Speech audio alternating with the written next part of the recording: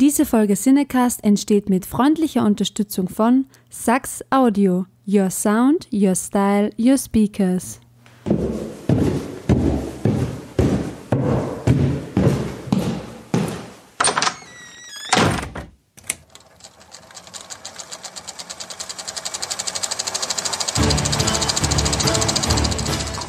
Watson, wenn man alle logischen Lösungen eines Problems eliminiert, ist die unlogische, obwohl unmöglich, unweigerlich eine neue Folge Siedecast.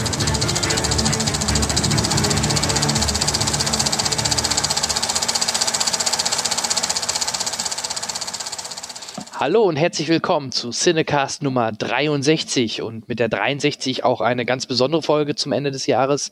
Wir sprechen nämlich heute über den für viele natürlich auch Film des Jahres, nämlich über Star Wars Episode 8. Und zu diesem Top-Film habe ich mir was Besonderes ausgedacht. Ich war am letzten Montag in Köln zur Presseverführung von Star Wars und habe dort zusammen mit dem Peter Dickmeier, den ihr mittlerweile ja auch aus einigen Folgen schon kennt, habe ich zusammen mit ihm ein Vorher-Nachher-Gespräch aufgenommen. Sprich, ihr bekommt zuerst die Eindrücke vor dem Film oder Erwartungshaltung und daraufhin dann auch unsere Ersteindrücke direkt nach dem Film. Ähm, dabei wünsche ich euch viel Spaß. Das ist auch komplett noch spoilerfrei. Also die nächsten 20, 30 Minuten werden sowieso noch spoilerfrei. Ich werde euch natürlich noch mit einem Warnhinweis versehen, sobald wir in den Spoilerbereich kommen. Also den bitte erst hören, wenn ihr den Film gesehen habt, wenn ihr denn spoilerfrei in den Film reingeben möchtet. Also dann viel Spaß.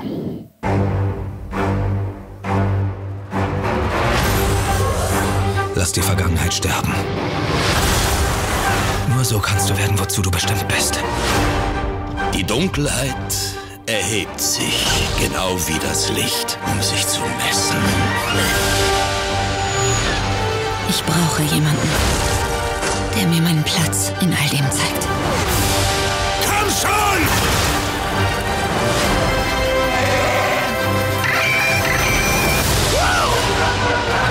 Weg ist ein anderer, als du ihn dir vorgestellt hast. Star Wars, die letzten Jedi. Ab 14. Dezember im Kino. So, wir sind jetzt hier live im Cinedome und neben mir steht ein altbekannter, unser Freund, der Peter. Hi.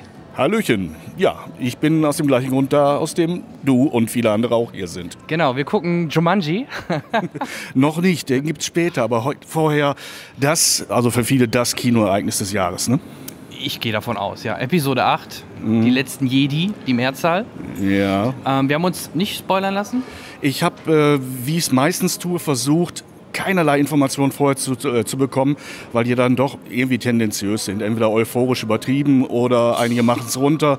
Ja. Und ähm, auch inhaltlich möchte man sich nicht spoilern lassen. Ganz genau. Aber es ist, glaube ich, relativ dicht geblieben. Ich habe gestern noch im Internet irgendwo mitbekommen, dass wohl was über Snoke geleakt worden ist. Keine Ahnung. Habe ich mir nichts durchzugelesen und äh, gehe auch komplett unvoreingenommen rein. Wie sind deine Erwartungshaltungen nach Episode 7 und vielleicht sogar, wenn man noch ein bisschen Rock One mit reinrechnet, was erwartest du oder ja, von Episode 8? Ich glaube, man kann mit Recht äh, ein großes Kino-Event erwarten. Die Erwartungshaltung ist weltweit so groß an, dieses, an diesen Film, dass, ähm, dass man alles tun wird, um diese zu erfüllen. Ich muss zugeben, dass ich nicht zu den, zu den Hardcore-Star Wars-Fans gehöre. Ich lasse mich immer wieder, gern unterhalten und bin auch mehr oder weniger begeistert über das, was da kommt. Aber ich bin jetzt nicht zum Beispiel faktensicher und könnte dir das ganze Universum irgendwie auseinandernehmen und wieder zusammensetzen. Ja. Aber äh, für mich ist es ein Kinoereignis. Und ich freue mich natürlich auch drauf und lasse mich wirklich überraschen. Ähm, Meine Erwartungen sind dank Rogue One, ich weiß, da bin ich nicht mit allen einer Meinung, aber dank Rogue One gestiegen.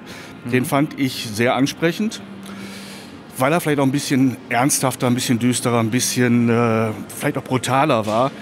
Äh, Im Kino kann ich das ab, im wirklichen Leben brauche ich keine Brutalität. Äh, Ganz genau. Und ähm, ja, ich, ich gehe davon aus, also bei mir ist auch die Erwartungshaltung recht hoch durch Ryan Johnson. Dem hat man mal soeben, äh, die von Disney waren so begeistert, man hat den sofort die nächste ganze Trilogie äh, ver, äh, übergeben quasi und haben gesagt, hier komm, du machst jetzt die nächste Trilogie. Das ist ja schon, schon ein Wort. Ne? Man hat sich erst gewundert, warum macht der Junge nicht Episode 9, warum Abrams? Kurz danach kam es ja raus, Ryan Johnson macht eine komplette neue Trilogie. Und von daher sind für mich dadurch noch die Erwartungshaltung natürlich noch mehr gestiegen, muss ich ganz ehrlich sagen. Das, ähm, wie gesagt, ich kann es nicht wirklich nachvollziehen. Es freut mich, wenn es so ist. Ich kann es nicht wirklich nachvollziehen, nachdem es immer wieder, nicht nur bei Star Wars, auch Probleme mit Regisseuren gab. Die Vorstellungen Oh ja. der Produzenten weichen von den äh, Umsetzungsvorstellungen der Regisseure ab. Und auch da haben wir hier einige Beispiele. Und dass irgendjemand durch, ich sag mal, eine Arbeit, die noch niemals wirklich fertig war zu dem Zeitpunkt, wenn ich das richtig verstehe, Ja. sich so qualifiziert und so empfiehlt, äh, für die nächsten 350 Jahre sämtliche Star Wars-Folgen und die Figuren zu gestalten, ähm, ist ein Vorschuss. Kann man dem gerecht werden? Fragezeichen. Ja, das, ist, das wird jetzt, das werden wir gleich in den nächsten zweieinhalb Stunden ungefähr erfahren, ne? Weil der Film hat ja, ist der längste Star Wars-Film aller Zeiten mit zweieinhalb Stunden. Habe ich eigentlich richtig, ich habe es nicht gehört und nicht gelesen, aber dass dieser Film irgendetwas beendet gehört, dass da sich irgendwas rundet. Da weißt du der mehr Haupt, ich. der Haupt, nein, ich, ich weiß, Weiß es nicht. ich auch nicht. Vielleicht habe ich es auch nur geträumt. Im ich Zweifel, weiß es nicht. Im Zweifel die Story über Lea, ne? die müsst ihr Ja. irgendwo, äh, vielleicht sogar schon in Episode 8 ein Ende finden, weil Episode 9 wird sie nicht mehr drehen können, oder? Ja. Ich finde es nicht verkehrt, dass wir Fragezeichen Ja. vor dem Film haben. Wie das nach dem Film ist, was, ob sich die Fragezeichen zu Ausrufezeichen geglättet haben, werden wir dann nachher feststellen. Aber das macht mir immer Freude, wenn ich vorher schon so, so, so eine Erwartungshaltung habe, Fragezeichen und, und auch so ein bisschen die Atmosphäre vorspüre. Weil ich glaube, man, man ahnt, dass das kein besinnlicher Film zur Weihnachtszeit wird, in dem äh, leise, leise Geigentöne über Minuten Dialoge untermalen. Die Trailer und die, die, die Poster und Banner, die sind natürlich schon sehr rötlich, also sehr weihnachtlich. Wenn das, Oder es ist sehr tödlich, eins von beiden. vielleicht ist diesmal der Todesstern auch hochglänzend und hängt an einem Faden. Eine Disco-Kugel oder eine Weihnachtskugel. Man ja. weiß es nicht. Sehr schön, sehr schön. Ja, wir werden uns das jetzt anschauen, äh, in OV und in, äh, in 2D. Mhm. Also Rogue One haben sie nämlich uns noch damals 3D gezeigt, jetzt zeigen sie glaub, auf ja. einmal wieder 2D. Ähm, tja, schauen weißt wir du, mal. Weißt du, wie die Tonqualität ist? äh, nö, meinst weil du nicht der Atmos? Saal, in den wir rein dürfen, ist atmostauglich. Da Dann könnte man drauf. einiges erwarten. Ja. Wir werden uns äh, später wieder melden. Bis dann. Tschö. Als ich dich fand, sah ich Ruhe, ungezähmte Macht. Und darüber hinaus etwas wirklich Außergewöhnliches.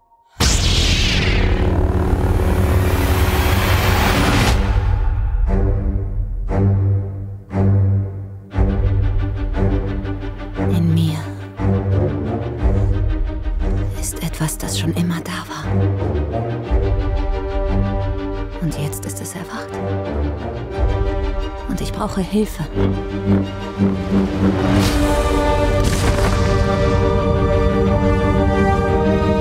Ich habe diese ungezähmte Macht nur einmal zuvor gesehen. Damals hat es mich nicht genug geängstigt. Doch jetzt schon.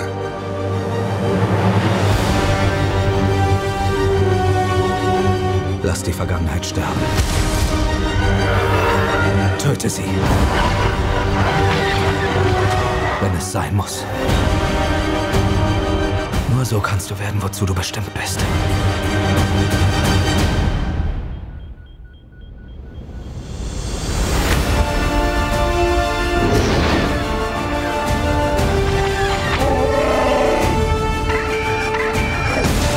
Wir sind der Funke, der das Feuer entfacht, das die erste Ordnung vernichten wird.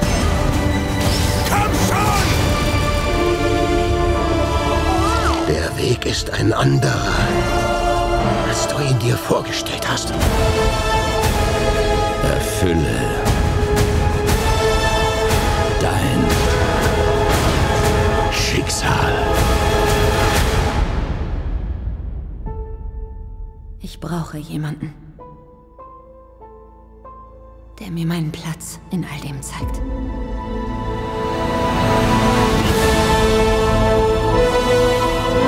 Star Wars, die letzten Jedi.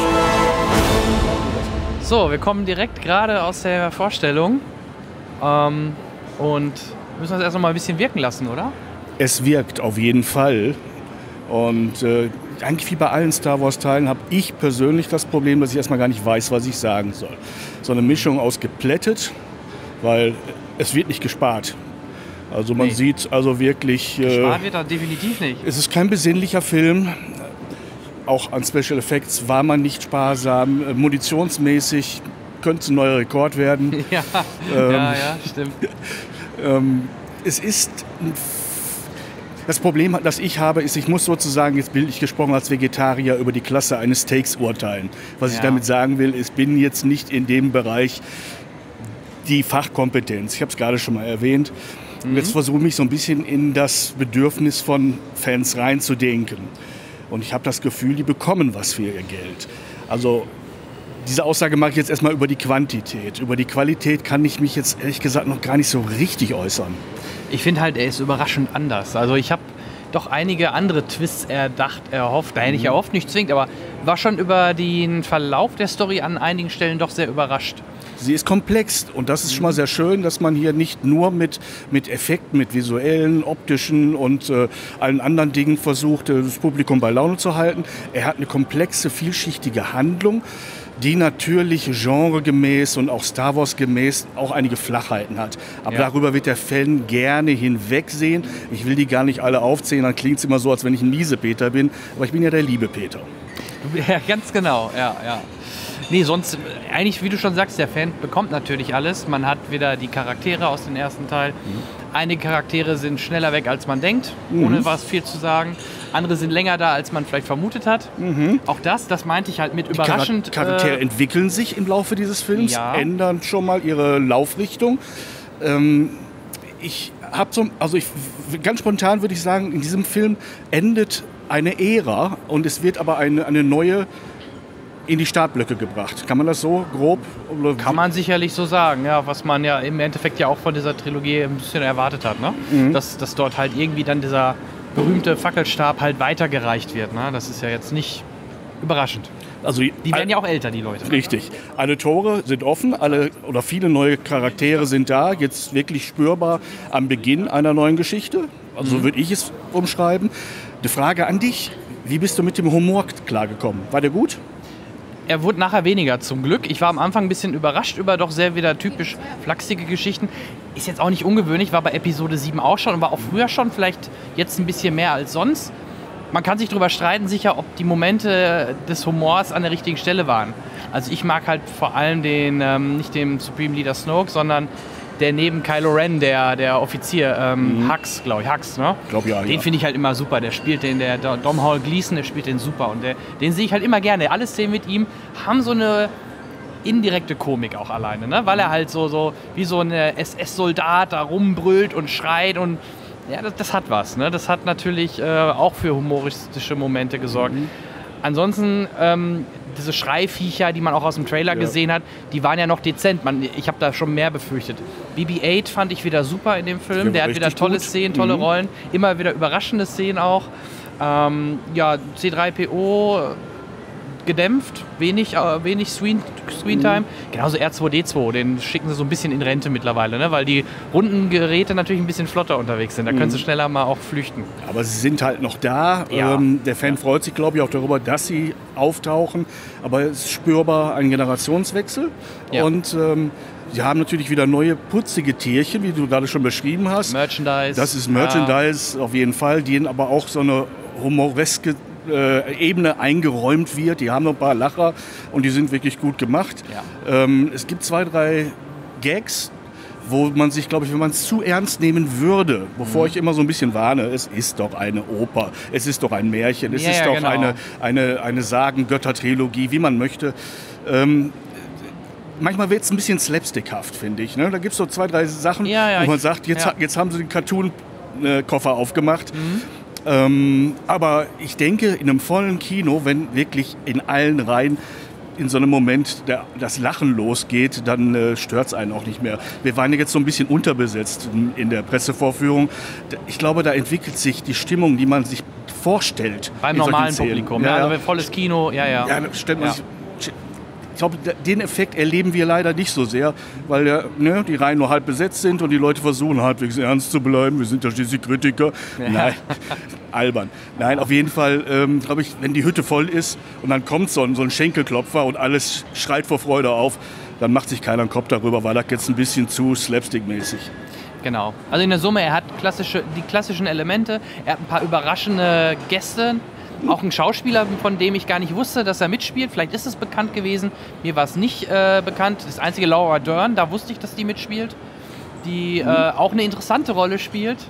Und Ja. wo es dann halt auch so mal ein bisschen hin und her ging, äh, von der einen auf die andere Seite, wo man dachte, was ist denn jetzt los? Ne? So nach dem Motto. Äh, Also gerade diese Szene auf der Brücke, ohne jetzt da viel zu sagen. Eben, ja. ich versuche mir auch gerade irgendwelche Spoiler zu sparen. Es Nee, gibt, ja, es gibt ein paar schöne, schöne Twists in der Handlung, ein paar schöne Twists bei den, bei den Charakteren. Ja. Die machen wirklich Spaß, die bereichern das auch. Weil ein, ein Genre wie Star Wars könnte leicht in die, in die Oberflächlichkeit abdriften. Mhm. Er muss ja eine gewisse Oberflächlichkeit pflegen, weil wir wollen hier keine systemkritischen, äh, gesellschaftskritischen äh, Dialoge oder Monologe hören und wir müssen auch keine, keine, keine äh, Handlungen bringen, die ähm, das, was bisher war, noch irgendwo, wie soll man sagen, überbieten. Man muss ein gewisses Level halten und das pflegen und nur sanft steigern, weil man natürlich immer ein bisschen mehr erwartet, aber Ja. man hat ja auch eine Strecke vor sich. Ne? Aber ich fand ihn halt auch jetzt, wenn man gerade mal mit dem Vorgänger vergleicht, sogar, ich fand ihn stärker. Muss man, also klar, wir kommen gerade aus dem Kino, ist man immer ein bisschen geprägt. Vielleicht sehe ich das in zwei Tagen anders. Aber in der Summe hat er mir besser gefallen und war nicht so extrem ähm, nostalgisch wie jetzt Episode 7, wo man natürlich noch mehr diese Nostalgie natürlich aufge, aufgewärmt hat. Ne? Das, Das- passt, passt ja auch ins Konzept. Ja. Man wollte mit den letzten und der jetzigen Episode diesen Wechsel hinkriegen und die Türen für weitere und möglichst lange laufendes Franchise aufmachen. Ja. Also hat man so den Nostalgiefaktor jetzt so langsam runtergedreht und die, die Gewichtigkeit der neuen Figuren immer ein bisschen mehr nach vorne gestellt, sofern sie nicht draufgehen Ja. oder äh, verschütt oder wie auch immer. Auf jeden Fall, es wird aber auch nicht an Nostalgie gespart, das muss man aber auch sagen. Es sind ein paar touchy Szenen drin, Ja, wo wir äh, eine Träne im Knopfloch haben und sagen, hm, generell die Optik, ne? weiterhin halt sehr analog geprägtes Design. Äh, egal ob die Kostüme oder halt die, ich sag mal, Bedienelemente, die sind jetzt nicht à la Star Trek 2011, sondern das ist halt wirklich eher noch, immer noch das Alte, ne? so wie man es kennt. Ich glaube, das ist sowieso die, die größte Arbeit gewesen, eine derart große Flut an Effekten, an CGI, in Kulissen zum Beispiel, die großen Landedecks, äh, wo die Technik äh, stattfindet und die, die Flugkörper einfliegen und, und ganze Truppen rumlaufen, die sind definitiv CGI, aber sie sehen nicht danach aus. Und Es das gab- ist, glaube ich, die richtige Arbeit Ja. gewesen. Ne? Es gab ganz wenige Szenen, wo man so ein bisschen merkte, gerade am Ende hin, äh, gab es so ein, zwei Szenen, wo man merkte, der Charakter ist komplett in einem, C in in einem CGI, in Ja. einer CGI-Szene, ohne dass da irgendwie was Echtes noch ist. Aber das hat es so ganz, ganz wenig und ich glaube, wenn jetzt nicht gerade unser geschultes Auge drauf schaut, ähm, der normale Kinozuschauer wird es gar nicht so extrem realisieren. Und nee, genau, also rundherum äh, gelungen. Es fängt ja schon mit, mit der Laufschrift an, so wie wir sie seit Ja. den 70er Jahren kennen. Man hätte Alles da alles ja. mögliche machen können, aber es ist Oh, so war das jetzt ein Spoiler? Nein, so offensichtlich nicht Ja. Aufgepeppt worden. Man hätte mit ganz wenig Aufwand da ganz tolle Sachen machen können. Ja. Aber es bleibt, wie es ist. Die Melodie, die ersten Takte, ist die, nimmt die erste Gänsehaut, weil dieses ne, Thema von Auch der Williams Schwenk zum, äh, zu, zu dem Planeten wieder Richtig. mit dem Raumschiff. Das mit der gleichen natürlich. Akkordfolge. Es Ja. beginnt, also wenn man, glaube ich, die ersten anderthalb Minuten aller Episoden zusammenschneidet, wird man keinen zeitlichen Unterschied sehen. Nee, nee, nee, nee, das stimmt, ja. Und in der Summe, was würdest du sagen? Ähm, wir haben vorher schon gesprochen drüber, Ryan Johnson kriegt eine ganze Trilogie. Jetzt so nach Episode 8, kannst du dir, also ist verständlich, warum Disney sagt, jo, der Mann hat's drauf? Gewissermaßen ja, weil er eine, eine, eine, eine Geschichte anreißt oder Geschichten, das ist gar nicht so eindimensional. Und ähm, man merkt, er ist in der Materie drin. Er hat eine Vorstellung, hat eine Vision, wie das rüberkommen soll, das Erzählen, das Epische. Ja. Ähm, Ja. Und das ist spürbar und das sollte aus einem Guss sein. Ja. Genauso wie die Optik des Films. Aber das ist das geringe Problem. Ist mehr ein technisches Problem, da kann man gute Leute dran setzen. Aber die Vision, eine, eine, eine große Saga weiter zu erzählen, die ist hier spürbar. Und da sollte man die Köpfe, wenn es geht, nicht austauschen. Und so wie ich sehe, hat er bewiesen, dass er es kann. Ja, also da würde ich auch dir zustimmen. Ich kann es gut verstehen, warum sie ihm jetzt die ganze Trilogie überlassen. Wir, wir können jetzt gespannt sein, wie JJ das Ganze zum Abschluss bringt. Ne? In, äh, ich glaube, zwei Jahren. Ähm, aber er hat auf jeden Fall schon mal jetzt ein äh, Brett vorgelegt, der liebe Ryan. Also da wird JJ sich schon ein bisschen die Zähne ausbeißen, vermute ich mal. Ähm, das rund wieder zum Abschluss zu bekommen. Überhaupt ist ein Ende immer ein besonderes, ein besonderer Teil, egal wobei, ob es um Ja. Bücher oder um äh, Theaterstücke oder Kinofilme geht. Genau. Da, da muss man wirklich was leisten, da muss man den Fan befriedigen und das hoffe ich wird gelingen.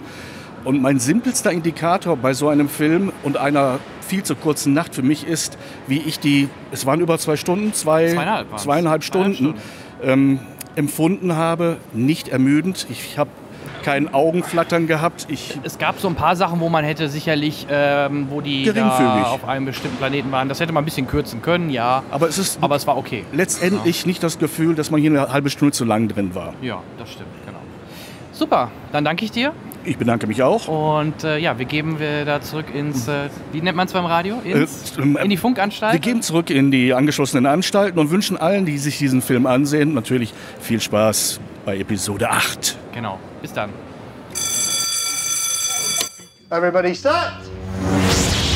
Three, two, one. Action. Ich begrüße jetzt recht herzlich Batz, aka Oliver Lysiak. Hallo. Hi, willkommen äh, aus Berlin. Genau, ja, es ist oft so, ne? Entweder mal, die Leute kommen aus Köln, aus Berlin, aus Hamburg, äh, von den Rocket Beans hatten wir häufiger schon welche hier. Also es ist scheinbar immer so diese Hauptstädte, wo es dann halt, haben wir gerade noch drüber im Vorgespräch gesprochen, wo es Kinos PVs gibt. Ja, Kinos, PVs vor allem, ne?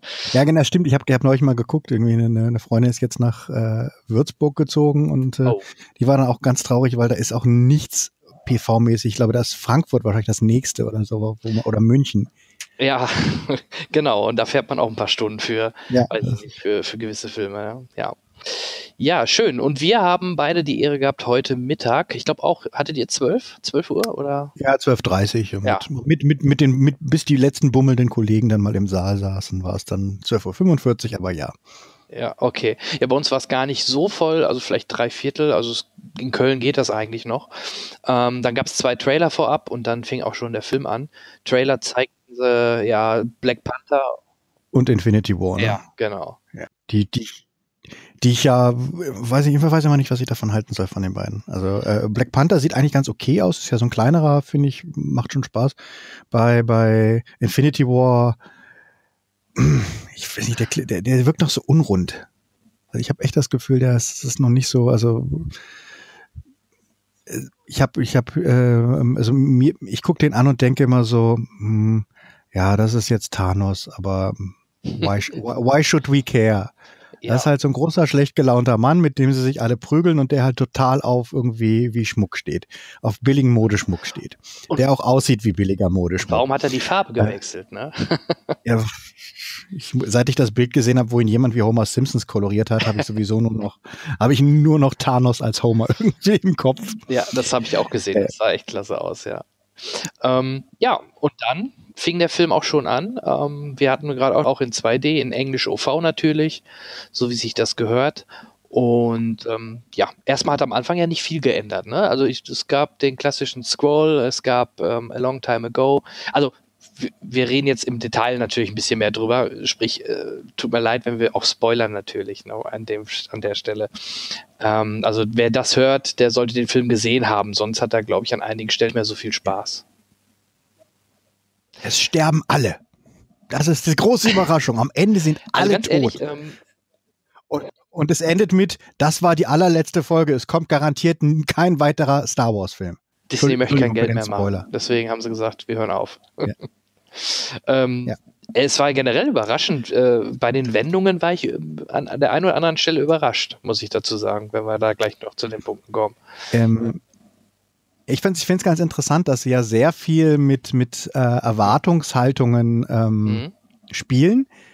Ähm, oftmals auch äh, sich sehr bewusst sind, in, in welchem, in welcher ähm, äh, in welcher Zitatelandschaft sie sich befinden, die die Zitate dann auch tatsächlich bringen, ähm, um sie dann aber ähm, zu enttäuschen oder um quasi in eine andere Richtung abzubiegen. Also es ist ganz oft, dass du so eine Szene anfängt, ähm, wo du denkst, uh, das ist ein Wort zu Wort für Wort Zitat aus Return of the Jedi oder das ist ja eigentlich äh, eins zu eins oder wenn der Vorspann kommt, also das, wenn, wenn wir jetzt gerade noch äh, beim, beim äh, Titelscroll waren, ähm, und der durch, durchgelaufen ist und denkst, uh, das ist ja eigentlich schon genau das Setup für mhm. Empire Strikes Back.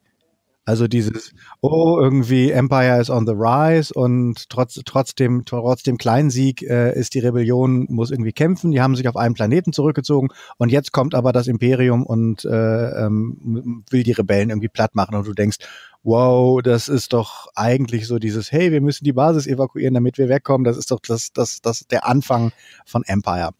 Und aber sie machen dann doch ein bisschen was anderes, weil so, sie vertauschen zumindest so die, die, die, die Reihenfolge der Sachen, in der es abläuft. Denn der, der, der Anfangskampf von Empire gegen die, gegen die ATAT ähm, oder AT-80 oder wie auch immer man die Dinger nennt, ähm, ist nicht am Anfang, sondern kommt am Ende lustigerweise. Ähm, dafür kommt aber eine Weltraumschlacht, die man ja eigentlich erwarten würde. Später kommt dann aber Genau, Poe Damerons äh, alleiniger Einsatz am Anfang äh, gegen den Dreadnought, ne? heißt das große, große dreieckige Schiff.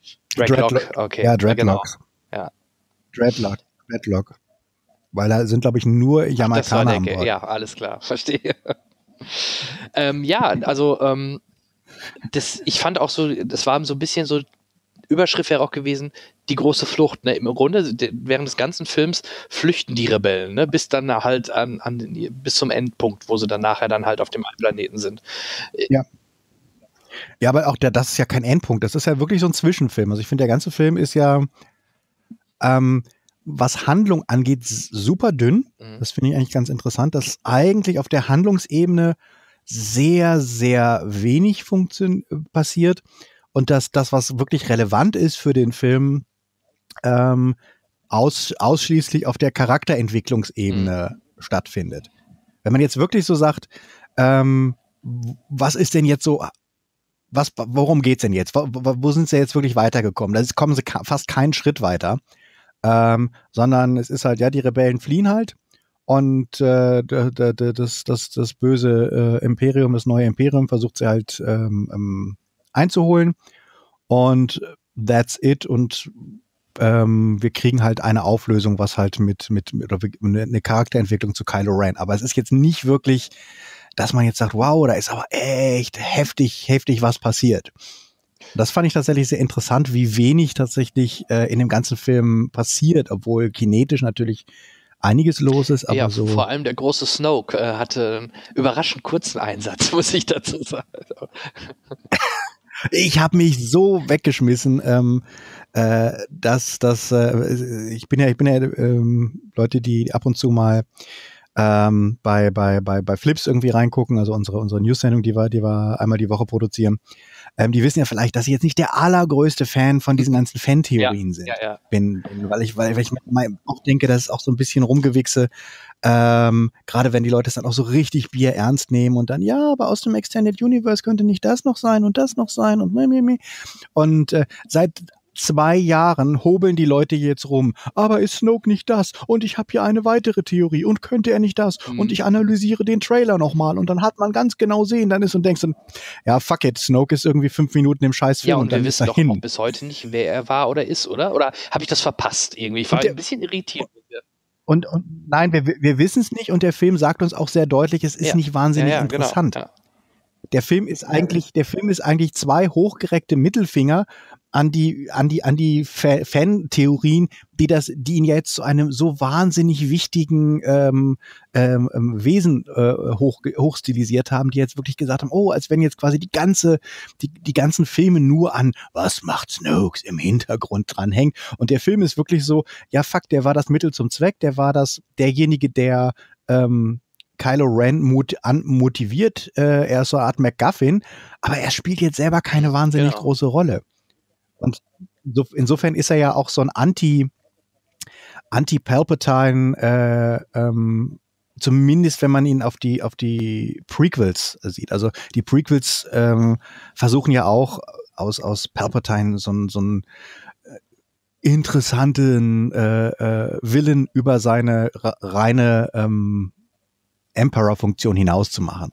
Also diese ganze politische Intrige und den ganzen Kram, den, der da versucht wird und sowas. Und eigentlich ist Palpatine nur gut. Er ist der Boss von Vader, er ist böse und er versucht Luke zu verführen. Das ist das ist das, was wirklich interessant ist. Der ganze andere Schmonz vorher ist ja gar nicht interessant und letztlich ähm, äh, ist er jetzt auch nicht, also niemand interessiert sich für den Imperator, nachdem er jetzt in den Schacht gefallen ja. ist. Und die Szene war ja mhm. schon sehr, sehr ähnlich zu der Szene, ne? Also zu, zu von ähm, Ja. Hm? Das sind diese, genau, das meinte ich so, diese Echos. Du hast immer diese Echos in dem Film, ähm, die dann aber ähm, anders aufgelöst werden oder ähm, wo du hast, ah, okay, das ist jetzt so die Vader Redemption Szene aus, aus, aus äh, Jedi, aber es ist eben nicht genau die Jedi Redemption Szene. Ja. Also ähm, es wird ja sogar textlich drauf angespielt, wenn wenn sie wenn äh, äh, Ray im, im im Lift neben ihm steht und ich spüre, ja, da genau. ist noch Gutes in dir, ich spüre deinen Konflikt, bla bla bla bla bla. Das ist ja quasi äh, Quote direkt aus Jedi. Ähm, und dann geht's halt doch in eine andere Richtung. Und das Schöne ist, Snoke ist auch von einer Art, wie er gespielt wird. Er sieht übrigens viel besser aus als im, äh, im, im Vorgänger. Ja. Also ich fand ihn ja wirklich ein CGI-Inferno im, also wirklich ein totaler Fail, so gern ich äh, Episode 7 mochte, aber er sah echt scheiße aus im, im, in, in 7. Und hier sieht er echt gut. Also kann man, man nimmt ihm fast ab, dass er äh, wirklich ja, da ist. Richtig, ganz genau. Gut, in 7 hat man ihn, glaube ich, hat man ihn nur als Hologramm gesehen oder ja, ne? Ja, ja, war ja, halt auch. Er sah schon sehr genau. Und war ja, ja, gespielt sogar von Andy Serkis, von unserem Gollum, ja. Hm? Genau, ja, ist im Abstand ist er drin gewesen, habe ich extra nochmal drauf geachtet. Ja. ja, das war er. Und ja, in der Szene, wie gesagt, im Grunde gleiches Ende. Der Imperator wird gestürzt, nur dass dann halt äh, nicht Darth Vader kurz vorm Sterben ist und auf die gute Seite wieder rüber wechselt, sondern dass Kylo Ren dann sagt, so jetzt erst recht hier. Und äh, auch da wieder, wie mit dem Sohn, hier komm an meine Seite, er streckt die Hand aus, ne? ähnlich wie damals Darth Vader zu Luke Skywalker. Genau, das ist, er, er, er, er spielt quasi die Endszene ja. von Jedi an um dann aber auf die Endszene aus, äh, aus, Richtig, aus Empire genau. zu gehen. Das fand ich auch ein sehr schöner Kniff als Vater und Sohn, als Vater, als Vater und Sohn können wir die Galaxis beherrschen, bla bla bla, genau. Und er kommt dann an. Und, und gleichzeitig ähm, äh, ist der Film halt sehr gut darin, ähm, Mythen zu zerstören. Also äh, der wirkt ganz oft, finde ich, so, als wollte er den ganzen fanatischen Fanboys ähm, irgendwie mal ein, ein, ein, ein, die, die abwatschen. Ähm, in denen er irgendwie so sagt, ja, aber es, es muss, es ist nicht immer nur alles Vorbestimmung und es ist nicht immer alles nur, ja, da, du weißt, scheißegal, wer deine Eltern sind, Ray. Es sind halt irgendwelche Assis, die dich irgendwie für ein paar, paar ja. Euro verkauft haben. Du bist nicht vorbestimmt. Du bist nicht irgendwie die Chosen One. Äh, deine, dein, du, du hast eigentlich in dieser Story nichts zu und das suchen. War doch wieder so ein Tritt in die Eier ähm, von den ganzen äh, Verschwörungstheoretikern, die, die gesagt haben, das ist Lukes Tochter, das ja, ist genau. XY oder wie auch immer, ne? Ja, genau. Und äh, letztlich zeigt sich da auch der Willen, die Skywalker-Sage halt endlich mal einen Deckel drauf zu machen. Also das, das, das, das ist so ein bisschen auch eine, die Emanzipa Emanzipierung des Star Wars-Universums von der elendlangen Skywalker-Sage. Also nichts gegen die Originaltrilogie, aber dieses, oh, wir brauchen drei Filme nur, um mal zu erzählen, wie aus Darth Vader Darth Vader geworden ist. Genau. Ey, weißt du, die, die sagen jetzt, nee, wir machen jetzt mal Deckel drauf, wir sagen jetzt mal, nee, Ray ist nicht irgendwie die Tochter und sondern das war halt irgendeine so äh, eine irgendeine eine, eine Mädel von einer, von einer, von einer Assi-Familie. Und die Eltern haben wahrscheinlich Drogen gebraucht und haben, haben sie halt irgendwie für ein, für ein Apfel und ein Ei irgendwie genau, verscherbelt. Genau, ja. Richtig. Und sie wartete halt auf dem Planeten. Ah, oder genau, da wäre gerade die Frage, weil ich da gerade dran denken muss, dass sie ja Strichliste geführt hat und ähm, sagte, auf welchem Planeten sie lebt. Und Luke sagte, äh, ja, das ist wirklich am Arsch der Welt so ungefähr. ja, sehr schön. Du, du, du erwartest, der, der, der teast dich immer an mit diesem ganzen, oh, welche Fantheorie wird jetzt genau. richtig sein? Gar keine, weil Luke sagt, das ist wirklich, und, sie so, Jakku, und du denkst, er sagt, da, ah, Jakku, meine, un, meine, meine uneheliche Tochter habe ich genau, doch auf genau, Jakku genau, versteckt genau. oder irgendwie ja. so, irgendwie sowas. Und dann sagt der Film aber, nee, fick dich. Ja, Jakku ist aber wirklich der Arsch der Welt. Das ist ja wirklich, da will man ja nicht tot über den Zaun. Der, der auf Tatooine groß geworden ist. da musste ich in dem Moment so denken. Aber ja, ja okay, das, das stimmt. Ähm, das, das, das stimmt. Ja, mach du. Und es gibt ähm, es gibt noch, wo, wo wir gerade bei diesem Ent, Entmythisieren äh, waren, äh, meine Lieblingsszene, ähm, war, war tatsächlich auch der, der, Oh ja. der Auftritt von Yoda, der äh, im, im Film wieder auftritt und ich ganz glaube, er sicher. ist wieder eine Puppe Ganz oder wenn ist nicht, das ist eine das ein. CGI. Frank, äh, Frank Äh, also oder Us äh, taucht am Ende im Abspann wieder auf.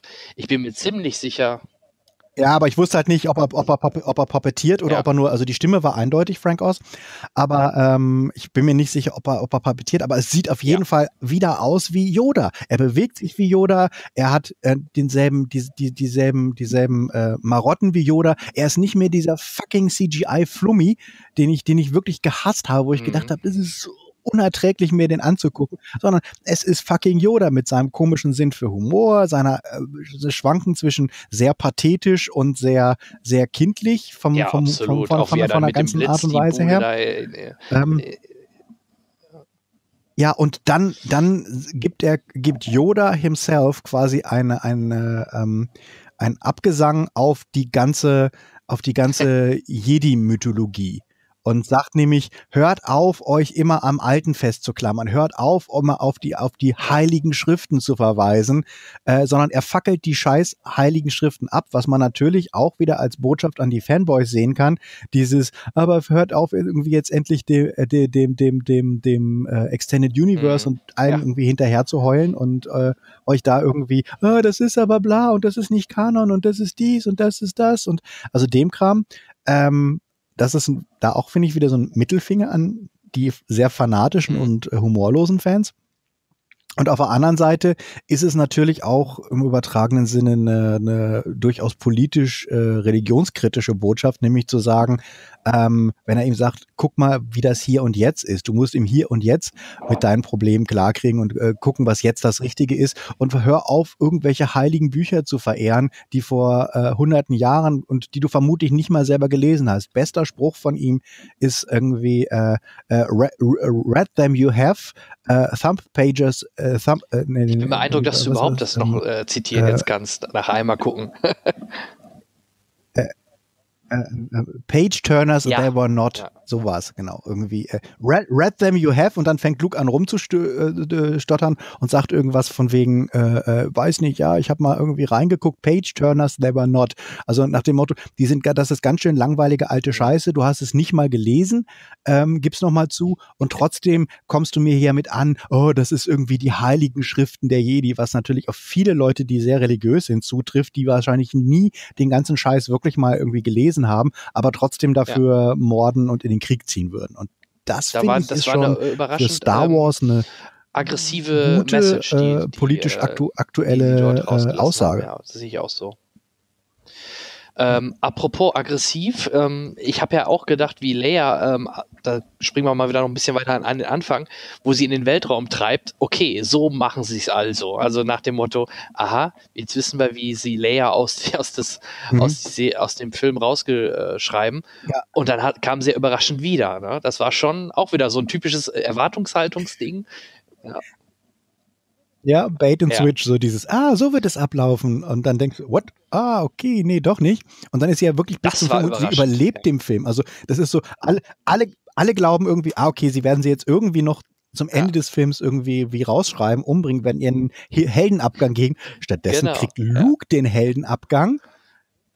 Und Leia bleibt im Film und die, ich vermute, sie wird jetzt ein Opfertod ähm, für die Endschlacht sterben. Also sie wird jetzt wahrscheinlich am Anfang vom nächsten Film irgendeinen heroischen äh, Tod oder so, ein- so ein, was weiß ich, es wird einen Anschlag geben und dabei kommt dann auch General Leia ums, ums Leben, ähm, was dann quasi die Motivation ist, für die Rebellen nochmal eine Schippe draufzulegen und in die Endschlacht ähm, Ja. zu ziehen, würde ich mir jetzt vorstellen, weil sie haben sie ja jetzt, sie müssen sie ja, irgendwas müssen sie machen, sie können sie nicht sagen, ja, und Leia ist gerade auf Nee, Besuch das bei nicht. ihrer Ich Tante. vermute aber, ähm, dass wir vielleicht jetzt auch einen etwas größeren Zeitsprung mal haben werden, vielleicht von fünf bis zehn Jahre. Und äh, in der Zeit kann ja auch äh, Leia so verstorben sein, dass man das halt so irgendwie löst. Ne? Stimmt. Möglich, anstatt Ja, das ist natürlich das, aber also Ja. wenn sie jetzt nicht einen direkten Anschluss machen, ich war jetzt natürlich davon ausgegangen, Aber- dass sie fast wieder so Aber nahtlos überleg mal an das Ende. ein halbes Ähm, Jahr es wird später ja dann an, gezeigt, anfangen. so das Wort wird weitergegeben, die Kinder. Also es, für mich jetzt muss ja erst wieder diese Rebellion langsam anwachsen. Deswegen könnte ich mir gut vorstellen, dass wir erst wieder ähm, äh, dort in Episode 9 reinstoßen, so ich sag mal so in vielleicht fünf Jahren, bis die wieder ein bisschen was aufgebaut haben, Leute gesammelt haben. Äh, genauso, ähm, dann könnte man halt äh, Kylo Ren deutlich gestärkter als neuen großen, starken ich weiß nicht, wie er sich nennen wird, mhm. Supreme Leader ähm, oder Imperator äh, zeigen. Wenn man jetzt direkt anschließt, weiß ich nicht, dann wäre das wieder an der Stelle nur wieder so ein Katz-und-Maus-Spiel. Ich vermute eher, dass man jetzt ein bisschen. Äh Supreme Leader Solo. Oder Supreme Leader Ben, um das Ganze mal so ein bisschen volksnäher zu machen. Ja, Hallo, aber warum sollte er seinen Leader Ben? Ändern? Also warum sollte er wieder auf seinen alten Namen gehen als, ja, als äh, Swiss? Ne? Macht ja eigentlich auch keinen Sinn. Und auch in dem Film, ich habe auch irgendwie immer mal gehört, ja, vielleicht führen sie jetzt irgendwie die grauen Jedis ein, die, die mal so mal oder ne, so, so eine Zwischenlösung. Haben sie ja auch nicht gemacht. Im Endeffekt, ähm, oder diese Szene da äh, in diesem, was war das? Nicht Spiegel? Also diese Spiegelszene, ähm, Ach so, ja, die, die, ja. die äh, Lay, äh, Ray entdeckt die dunkle Seite, aber dann doch nicht. Die völlig, diese, die, die war ja letztlich so auch wieder ein Echo der ähm, Dagobah mhm, ähm, genau. geht in die Höhle-Szene, aber auch wieder ein Switch wie, ja, es passiert gar nichts. Es war, sie hätte auch, hätte auch, hätte auch mal kurz auf Klo gehen können, wäre jetzt ähnlich. Da war ich ja äh, auch überrascht, dass da irgendwie so gar nichts bei rauskam in dem Moment. Die Szene hätte man sich auch komplett ja, schenken nee. können im Endeffekt. Aber das, das habe ich, äh, um jetzt auch mal Kritik, also ich, ich bin, äh, will auch jetzt nicht, äh, nicht, dass es falsch ankommt. Also ich bin, äh, ich mochte den Film grundsätzlich. Aber ähm, es gab auch eine ganze Menge Sachen, wo ich gedacht habe, wow, ähm, das ist schon erzählerisch, äh, dramaturgisch sehr holperig oder das, das ist so Sachen, wo ich denke, das ist so äh, viel, ich, ich fand, ja. der Film hatte viel Wasser treten. Weil wenn man es genau nimmt, ähm, was ist das, was wirklich wichtig ist im Film? Das ist Ray, das ist ähm, ähm, Kylo Ren und das ist Lukes Story. Das sind, das ist das, was wirklich richtig substanziell wichtig ist. Und dann, bei, dann hatte ich das Gefühl, dass sie so überlegt haben, ja, aber wir wollen ja Poe und wir wollen ja, ähm, also Poe ja, hat war auch ein bisschen okay, so ein den fand ich gar nicht so schlimm. Ähm, Aber diese Casino-Szene, also ja, ja, der, der komplette, der, ja. der, der, komplette Ausflug von, von Rose ja. und ähm, ähm, Finn ist völlig unnütz in allem. Also ja, so nett auch der, der, der ähm, Benicio del Toro als der Master Dingsbums Hacker da ist. Ähm, es ist für die Story könntest du alles komplett rausnehmen. Also du könntest den ganzen, diese ganze, diese ganze Secret-Plot-Nummer da, die sie machen wollen, um, um, um da an, de, an diesen, ja. diesen äh, Hacker ranzukommen. Das könntest du eins zu eins aus dem Film rausnehmen, hättest weniger Probleme, weil du nicht Poe, äh, äh, äh, Finn und erstmal raus auf das andere Schiff bringen musst und dann wieder zurückbringen musst, damit sie doch wieder zur Rebellenbasis kommen.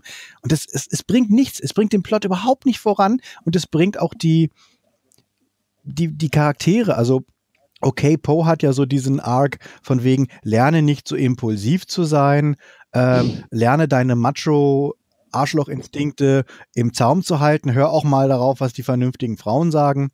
Ähm, und denk mal ein bisschen nach, bevor du ähm, with Blazing Guns in den Raum reinrennst. Also das ist ja so sein, sein Arc, den er jetzt am Schluss dann auch abgeschlossen hat, wenn er dann sagt, lass uns, das bringt jetzt hier nichts, lass uns den Angriff abbrechen, äh, wir sind jetzt mal irgendwie vernünftig. Das ist okay.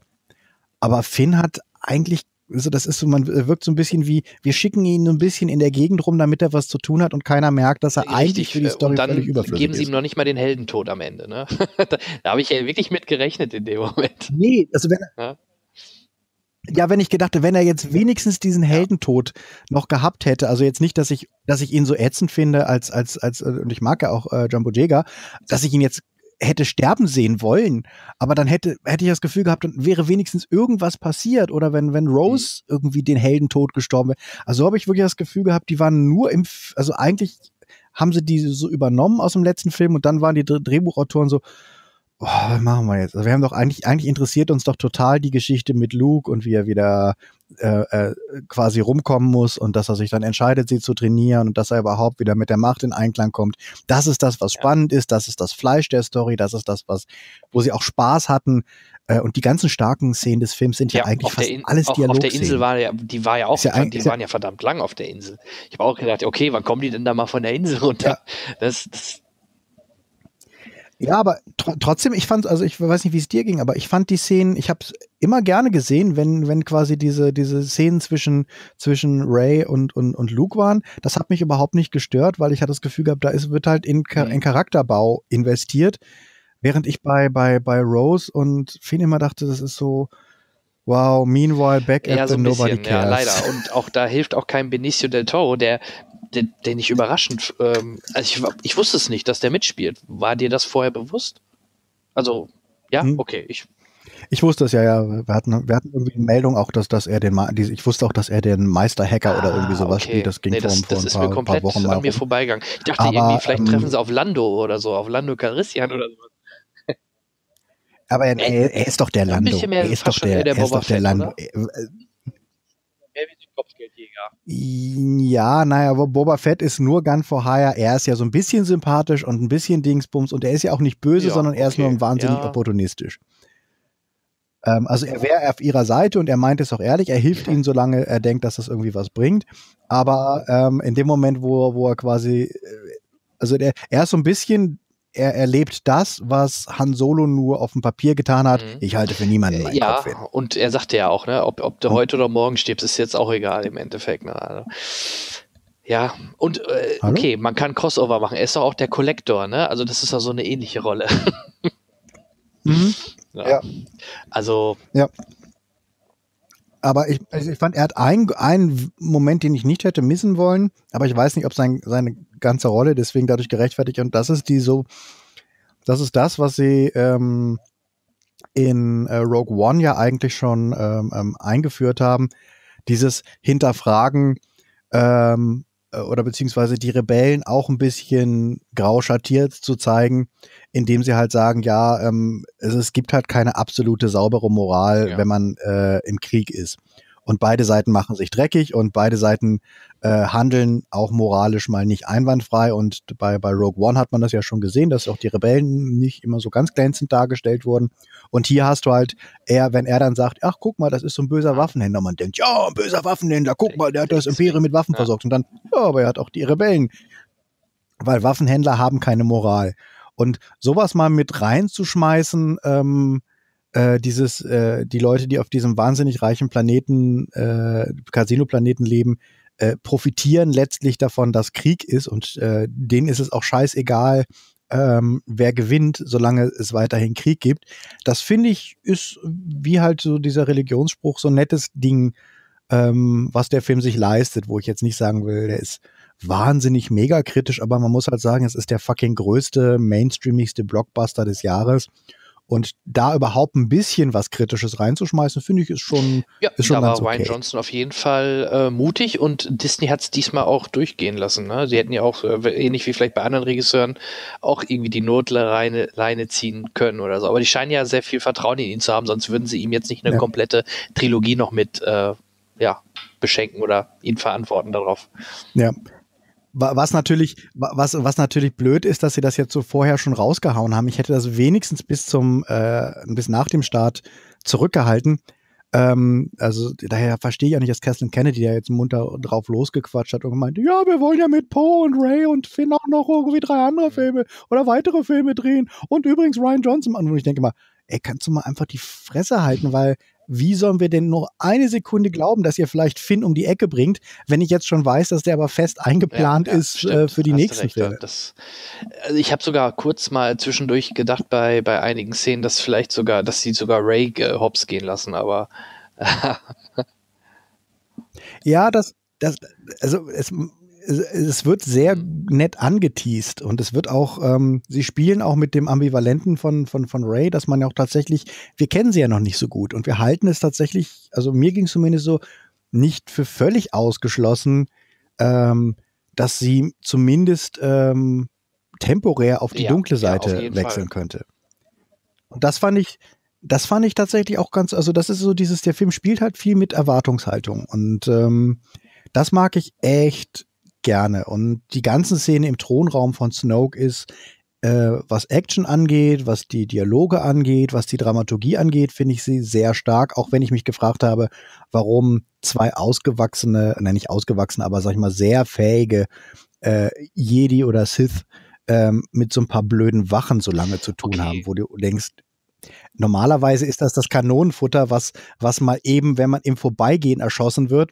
Und ihr habt jetzt äh, fast tödli tödliche Kämpfe. Jeder von euch beiden, der ja eigentlich Force Power und Force Push und Hasse nicht gesehen hat. Und man sieht ja auch, wie stark äh, Kylo eigentlich ist. Das hat man im letzten Film ja schon gesehen, was er eigentlich mit Force Push und so machen kann. Und äh, der, der, der lässt sich da quasi von einer von diesen Kung-Fu-Wachen da fast ablaschen. Da, da haben sie, glaube ich, auch ein bisschen so mit den Erwartungshaltungen äh, gespielt, weil es war ja auch schon immer so die Vermutung, weil diese Wachen auch damals standen immer nur so rum, aber wenn sie die, Be die Wächter sind quasi Mhm. von jetzt Snoke oder so früher vom Imperator, dann müssen die ja Mhm. was drauf haben, weil warum sollte sonst ein Snoke oder ein Imperator überhaupt Wachen haben?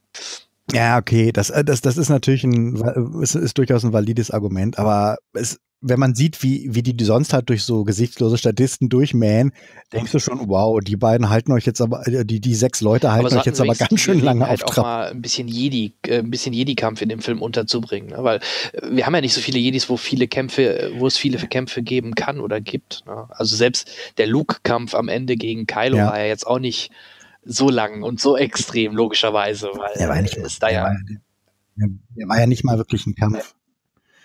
Ja, und ich, das war auch so, das Ende war auch so ein bisschen, also ich hatte, also eh musste ich immer irgendwann aufs Klo, weil der Film ja auch sehr lang ist, ich glaube zweieinhalb Stunden. ja, ich war echt auch also am es geht, Kämpfen auf Toilette zu gehen. Ja, geht echt, geht, geht, geht auch echt. Also ich, ich, ich habe zum Schluss so gedacht, oh, so ein halbes Stündchen weniger hätte Ja. dem Ganzen vielleicht auch gut getan.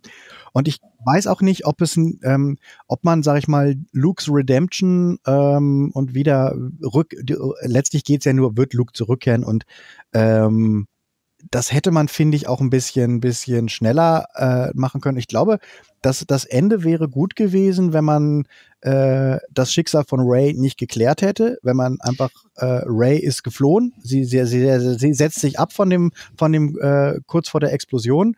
Äh, Luke kommt noch mal und ermöglicht der, der Flotte irgendwie die Flucht. Und äh, dass man so ein bisschen so ein desolateres äh, ähm, ähm, Ende hat und dass man jetzt nicht nochmal, und jetzt gehen wir nochmal auf den Planeten. Und dann sind wir nicht nur auf dem Planeten, dann ist da noch eine neue große Kanone. Und dann müssen wir noch irgendwie das und das machen. Und dann müssen wir das und das machen. Und dann kommt Luke. Und dann müssen wir aber noch fliehen. Und ich habe gedacht, oh, das ist ja, das Ding hat mehr Enden als fucking äh, Return of the King. Ja, ja, stimmt. Da wurde auch immer schwarz. Oh, es geht weiter. Sag mir mal, sag mir mal, wie kann denn ein, ähm, äh, ich, ich nenne es nicht Hologramm, wie kann denn Luke, der nicht wirklich da ist, Leia diese, äh, diese ähm, Würfel geben? Das ist anscheinend eine völlig neue Force-Projektionspower, weil er kann ja auch ein Laserschwert so materialisieren, dass es äh, Widerstand gibt. Ähm, weil die haben ja nicht nur gewedelt, sondern die haben ja auch mal die Klingen aufeinander krachen lassen. Das heißt also, Luke hat, aber gerade deswegen fand ich diesen ganzen, diese ganze, also es wäre, wenn der Film oder wenn der Film dann geendet wäre mit äh, See You Around, Kiddo, ähm, wäre es vielleicht auch noch weniger frustrierend gewesen, aber äh, also entweder finde ich, hätten sie ihn da wirklich sein lassen sollen und dann hätte er da auch sterben können, indem er quasi die Obi, den Obi-Wan macht. Ähm, Habe ich erst kurz gedacht, wie, wie er dann das äh, Lichtschwert weggesteckt ja, hat. und Da dieses äh, If you strike me down, I will become more powerful than you could ever imagine, sagt er ja, glaube ich, auch fast so eins zu eins wie Obi-Wan.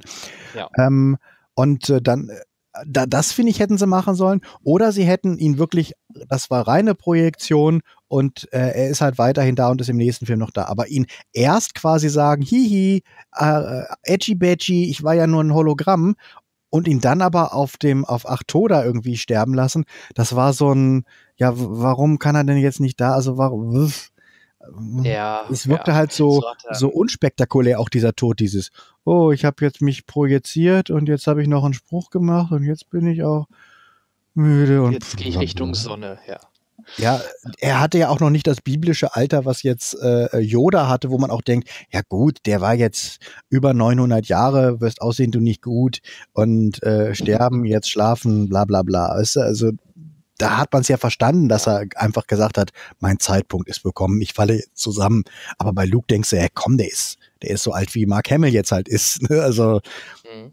das, das Ende fand ich echt so zu langgezogen und ähm, ja, einfach eine schlechte Dramaturgie. Es war immer so eine, so eine Dramaturgie, als wenn dir so ein aufgeregter äh, Siebenjähriger eine Story erzählt. Und dann sind sie dahin gegangen. Und, und dann sind sie dahin gegangen. Und dann waren sie auch noch auf dem Planeten. Und dann gab es auch noch ein Laserding. Und dann musste, musste, musste Ray noch diese ganzen Steine aus dem Weg räumen. Und, und, und dann, und dann, dann, dann, dann waren da noch andere Kinder auf dem Planeten und auf dem anderen Planeten und, und, und die hat er total inspiriert. Und dann hat er den Besen genommen. Und dann, und dann denkst du, ja, aber jetzt kommen wir mal zum Ende kommen. Also dieses, das war so ein bisschen, als wenn Ryan Johnson wie so ein Kind in einem, in einem Star Wars Laden gesagt hat, aber das wäre doch auch noch eine geile Idee. Und dass wenn da keiner war, der ihm gesagt hat, jetzt mach doch mal einen Punkt. Ist, ist doch eine schöne Geschichte und du hast doch echt viele gute Momente in dem Film. Mach doch jetzt einfach mal einen Punkt und lass doch das andere vielleicht für andere Filme. Vielleicht machst du ja noch mal einen zweiten Film. Muss doch jetzt nicht alles da reinpacken. ja, und äh, aber ich war überrascht, dass Ray plötzlich auf dem Falken war. Also das haben sie ja überhaupt nicht gezeigt. Das war komplett off. Ja, das kam, das kam total aus dem, aus dem, äh, wo du denkst, hä, wo, wo war denn der? Ich hab, ich wusste nicht mal, wo, wo habe ich denn den, den Falke habe ich doch auf 8 tot zuletzt gesehen. Äh, ja, genau. Also ich habe auch irgendwie gedacht, ich hätte irgendwas verpasst. Zischt sie mit dem Falken ab oder womit zischt sie weg? Ja, muss sie ja dann wohl, ne? So, ja, okay, aber dann hat das jetzt erklären. Was hat sie gedacht? Ich, was, wie, wie war ihre Verabredung dann äh, mit, mit, mit Chewie? Ich halte den Daumen raus und dann holst du mich ab? Oder weil sie flieht ja, ja von dem, von dem äh, äh, Hauptschiff, von Snokes Schiff, flieht ja. sie ja anscheinend mit einer Rettungskapsel oder irgendwie sowas. Oder mit einem, mit dem Privatjet von, von Kylo oder irgendwas wurde ja gesagt. Ich habe es nicht ganz genau im Kopf. Ja, genau. Und, und aber das meine ich halt. Das, man sieht nichts davon. Nicht mal eine kurze 10-Sekunden-Szene, wo, wo sie irgendwie aufgenommen wird oder so. Und dadurch ist das halt schon dann sehr komisch gewesen, in dem Moment, wo man sie plötzlich an der Bordkanone gesehen hat. Ja, das, das, das wirkte sehr, also die, das wirkte so, als da fehlt zumindest ein kurzer Einschub. Und wenn sie nur sagen würde, ähm, oder wenn sie nur kurz sagen würde, irgendwie, wir treffen uns am Treffpunkt wieder, bevor sie abfliegt. Weißt du, sie machen ja diesen Drop-off und wenn man da, da hätte man ja auch von mir aus gedappt einen Satz rüber machen können, ähm, äh, wie, wie, äh, ich, am, in so und so viel Zeit am vereinbarten Treffpunkt oder irgendwas, wo klar ist, ah, die werden sie auch wieder aufnehmen, nachdem sie sie da ja kurz rausschmeißen. Genau, genau. Und dann, und dann hättest du im Kopf ergänzt, ah, okay, uh, so ist das wahrscheinlich gelaufen, dass sie dann da einfach zu diesem Treffpunkt geflogen ist und da war dann Dings. Und das, das fand ich, fehlte tatsächlich auch. Genau, genau. Ansonsten der Planet war richtig schick, also mit dem Salz und mit diesem Rot, das hatte schon. Ja, wobei, wo, wobei die eine Szene habe ich ein bisschen gestört stöhnt, als er, als irgendwie sie dann äh, bereitet euch vor zum Kämpfen, ab in die an die Dings und der eine Typ wischt so Salz. über den Boden rüber und sagt, das ist Salz. Er hätte sich auch in die Kamera drehen können und das ist überhaupt nicht wie Hot. Das ist nämlich ein Salzplanet. Das ist kein Schneeplanet. Deswegen ja. ist das was völlig anderes als in Empire. Und du denkst, es ist mir wäre jetzt auch mir scheißegal gewesen, ob es ein ob es jetzt ein, äh, ein Schneeplanet ja. gewesen wäre. I don't care. Ich meine, mach doch einen zweiten Schneeplaneten. Aber nein, es war ein Salzplaneten. Das war halt so plump gelöst, wo ich gedacht habe, äh, das schon, aber wie gesagt, mit diesem Rötlichen darunter hast du echt ein paar optische Leckerbissen gehabt. Das fand ich echt schön. Nee, nee, optisch, optisch schön, optisch ja. auf jeden Fall. Also, ähm, das war echt schön, aber äh, es war halt so, eigentlich ist dieser ganze, diese, dieses ganze Manöver, was sie da fliegen, halt für die Cuts. Und eigentlich ist der ganze, ja, also alles, was Finn und Rose machen, ist auch wieder völlig von Arsch und unwichtig. Ja, und äh, da kam ja dann auch Laura Dern mal zum Einsatz. Ähm, mhm. Das gerade diese Storyline mit Laura Dern oder halt auch mit Poe, da fand ich am meisten dieses Getwiste, weil du nie sicher warst, äh, gerade am Ende, dann, dann stürmen sie die Brücke, haben die Brücke eingenommen, du denkst, die machen das Richtige, dann kommt Leia rein und schießt ihn weg. Also es war irgendwie ja, total da, irre. Das, das fand ich ja ganz gut, also weil ich sag mal so, ich hätte es ein bisschen enttäuschend gefunden, wenn die Moral der Geschichte gewesen wäre, ähm, ja, die naiven Frauen wollen sich ja irgendwie zurücksetzen, wollen, wollen ja irgendwie sich, sich äh, äh, fliehen und das ist bla und irgendwie, aber die mutigen Männer haben ja erkannt, dass sie in Wirklichkeit quasi eine feige Verräterin ist. Und jetzt sagen die Männer ihr mal irgendwie, wie das irgendwie gemacht werden soll. Und deswegen fand ich dieses Umdrehen, dieses, ja, er ist mal wieder irgendwie ein bisschen übereifrig übers Ziel hinausgeschossen und eigentlich hat er nur Leben riskiert und eigentlich bringt, eigentlich ist das alles von Arsch, was er da gemacht hat. Das fand ich in der, in der Quintessenz schon okay, wenn man jetzt nicht 40 Minuten Film damit einfach äh, unnötig ausgelöst hätte. Ja. Also wenn man jetzt, wenn, wenn, wenn es nicht so wahnsinnig viel Zeit hätte man diesen Punkt nicht ein bisschen kürzer machen können. Ja, und auch hier hätte man ja die Chance haben können, statt Laura Dern einfach Lea als äh, letzte Frau auf dem Schiff äh, dazulassen und den Helden ich hab auch, sterben zu Ich habe mich auch tatsächlich gefragt, ist das beabsichtigt, dass sie jetzt äh, also war das vielleicht, dass sie das, war das so eine Hilfsding, dass sie die Szenen mit Leia nicht hatten und dass Leia eigentlich den Heldentod sterben und das, war das jetzt so eine, so eine, so eine Cutting Room, Cutting Room Floor Choice oder sollte Laura Dern immer in dem Maße im Film diese Rolle spielen? Oder war das eigentlich was, was sie noch äh, für Leia geplant haben, aber dann hatten sie das Material jetzt nicht? Hm, Glaube ich nicht, weil äh, es war ja voll, was ich immer gehört habe im Vorfeld, bevor sie auch gestorben ist, oder gerade wie sie gestorben ist, dass sie eigentlich eine große Rolle auch in Episode 9 noch spielen sollte. Also generell wohl auch ja, eine wichtige Rolle haben soll. Und ja, aber, das ging aber ja dachte, dann nicht ist, mehr. Also warum dachte, sollte man sie dann in der 8 schon sterben lassen? Ne? Ja, aber ich habe gedacht, also da, damit sie diesen, also vielleicht war dieser Arc äh, quasi schon mit ihr geschrieben, aber es war noch nicht alles fertig gedreht mit ihr. Also waren vielleicht die ganzen Szenen, wie sie jetzt den, wie sie jetzt zurückbleibt, ähm, statt, weil ich hatte was, ich hatte bei ein paar Szenen das Gefühl, dass sie composited haben, als sie sich nämlich verabschiedet, ähm, als ich, als ich, äh, äh, als, als Laura Dern dann zu dem, zu dem Flucht-Dingsbums äh, kommt und ja. Leia da quasi sich von ihr verabschiedet, da habe ich gedacht, das sieht composited aus. Das sieht aus, als hätten sie äh, Leia aus einem anderen Hintergrund genommen und in die Szene reingestanzt. Mag ich mich täuschen? Vielleicht war es auch generell einfach nur mehr Greenscreen, kommt ja auch ab, ab und zu mal vor. Ja. Aber äh, ich hatte tatsächlich da überlegt, ob das, ob das so, so ist, dass sie, dass sie eigentlich so hätten, dass Leia zurückbleibt und sie hatten es aber nicht. Und das wäre zu aufwendig gewesen. Und vielleicht haben sie. Ich, ich werde mal im Detail darauf achten. Also spätestens wahrscheinlich bei der Blu-ray, bei Making of wissen wir vielleicht mehr. Ähm, ich werde aber auch noch mal darauf achten. Ähm, aber ich glaube eher, Weißt du, wo sie wahrscheinlich auch viele Szenen, die noch nicht fertig gedreht waren, wie sie sich das gespart haben? Ich vermute, dass diese Weltraumszene vom Anfang, äh, ich glaube, da war auch ein bisschen CGI mit drin. Ich glaube, dass sie da oh ja, diese Szene oh gar ja. nicht so gedreht waren Ja. und dass sie dadurch natürlich erstmal drei Viertel des Films rausgenommen worden ist, ne? Mhm. wo man hätte sonst vielleicht noch Szenen mit ihr hätte drehen müssen oder Ja. Gebraucht hätte. Und das war natürlich ein ganz äh, guter Kniff, sie dann in, in Anführungsstrichen dann einfach dort erstmal außer Gefecht zu setzen. Ne? Deswegen habe ich mich gefragt, war, ist vielleicht Laura Dern erst relativ spät in den Film gekommen und haben dann gesagt, wir geben jetzt einen Haufen Szenen, die eigentlich noch Leia-Szenen gewesen wäre, alle an Laura Dern. Mhm. Das könnte ich mir schon vorstellen. Das weiß ich leider auch nicht, ähm, ob Laura Dern vorher schon dafür festgelegt eigentlich war oder nicht. Aber sie hätte auch die Rolle auch jetzt. Ich hätte, gern, ich hätte sie gern sogar weitergesehen. Das fand ich eigentlich Ja, sogar da fast auch, schade. das habe ich auch gedacht. Also ich, ich, finde es ja auch gut und sowas, aber du hast natürlich recht im Sinne von, dass die schon eine sehr ähnliche Funktion im Film einfach haben. Also beide Senior Gener Generalinnen, die halt wichtig sind ähm, und das sind alles, äh, also, wo man denkt, okay, die, sie, sie hat dieselbe Fun erzählerische Funktion, aber sie haben zumindest auch eine Funktion.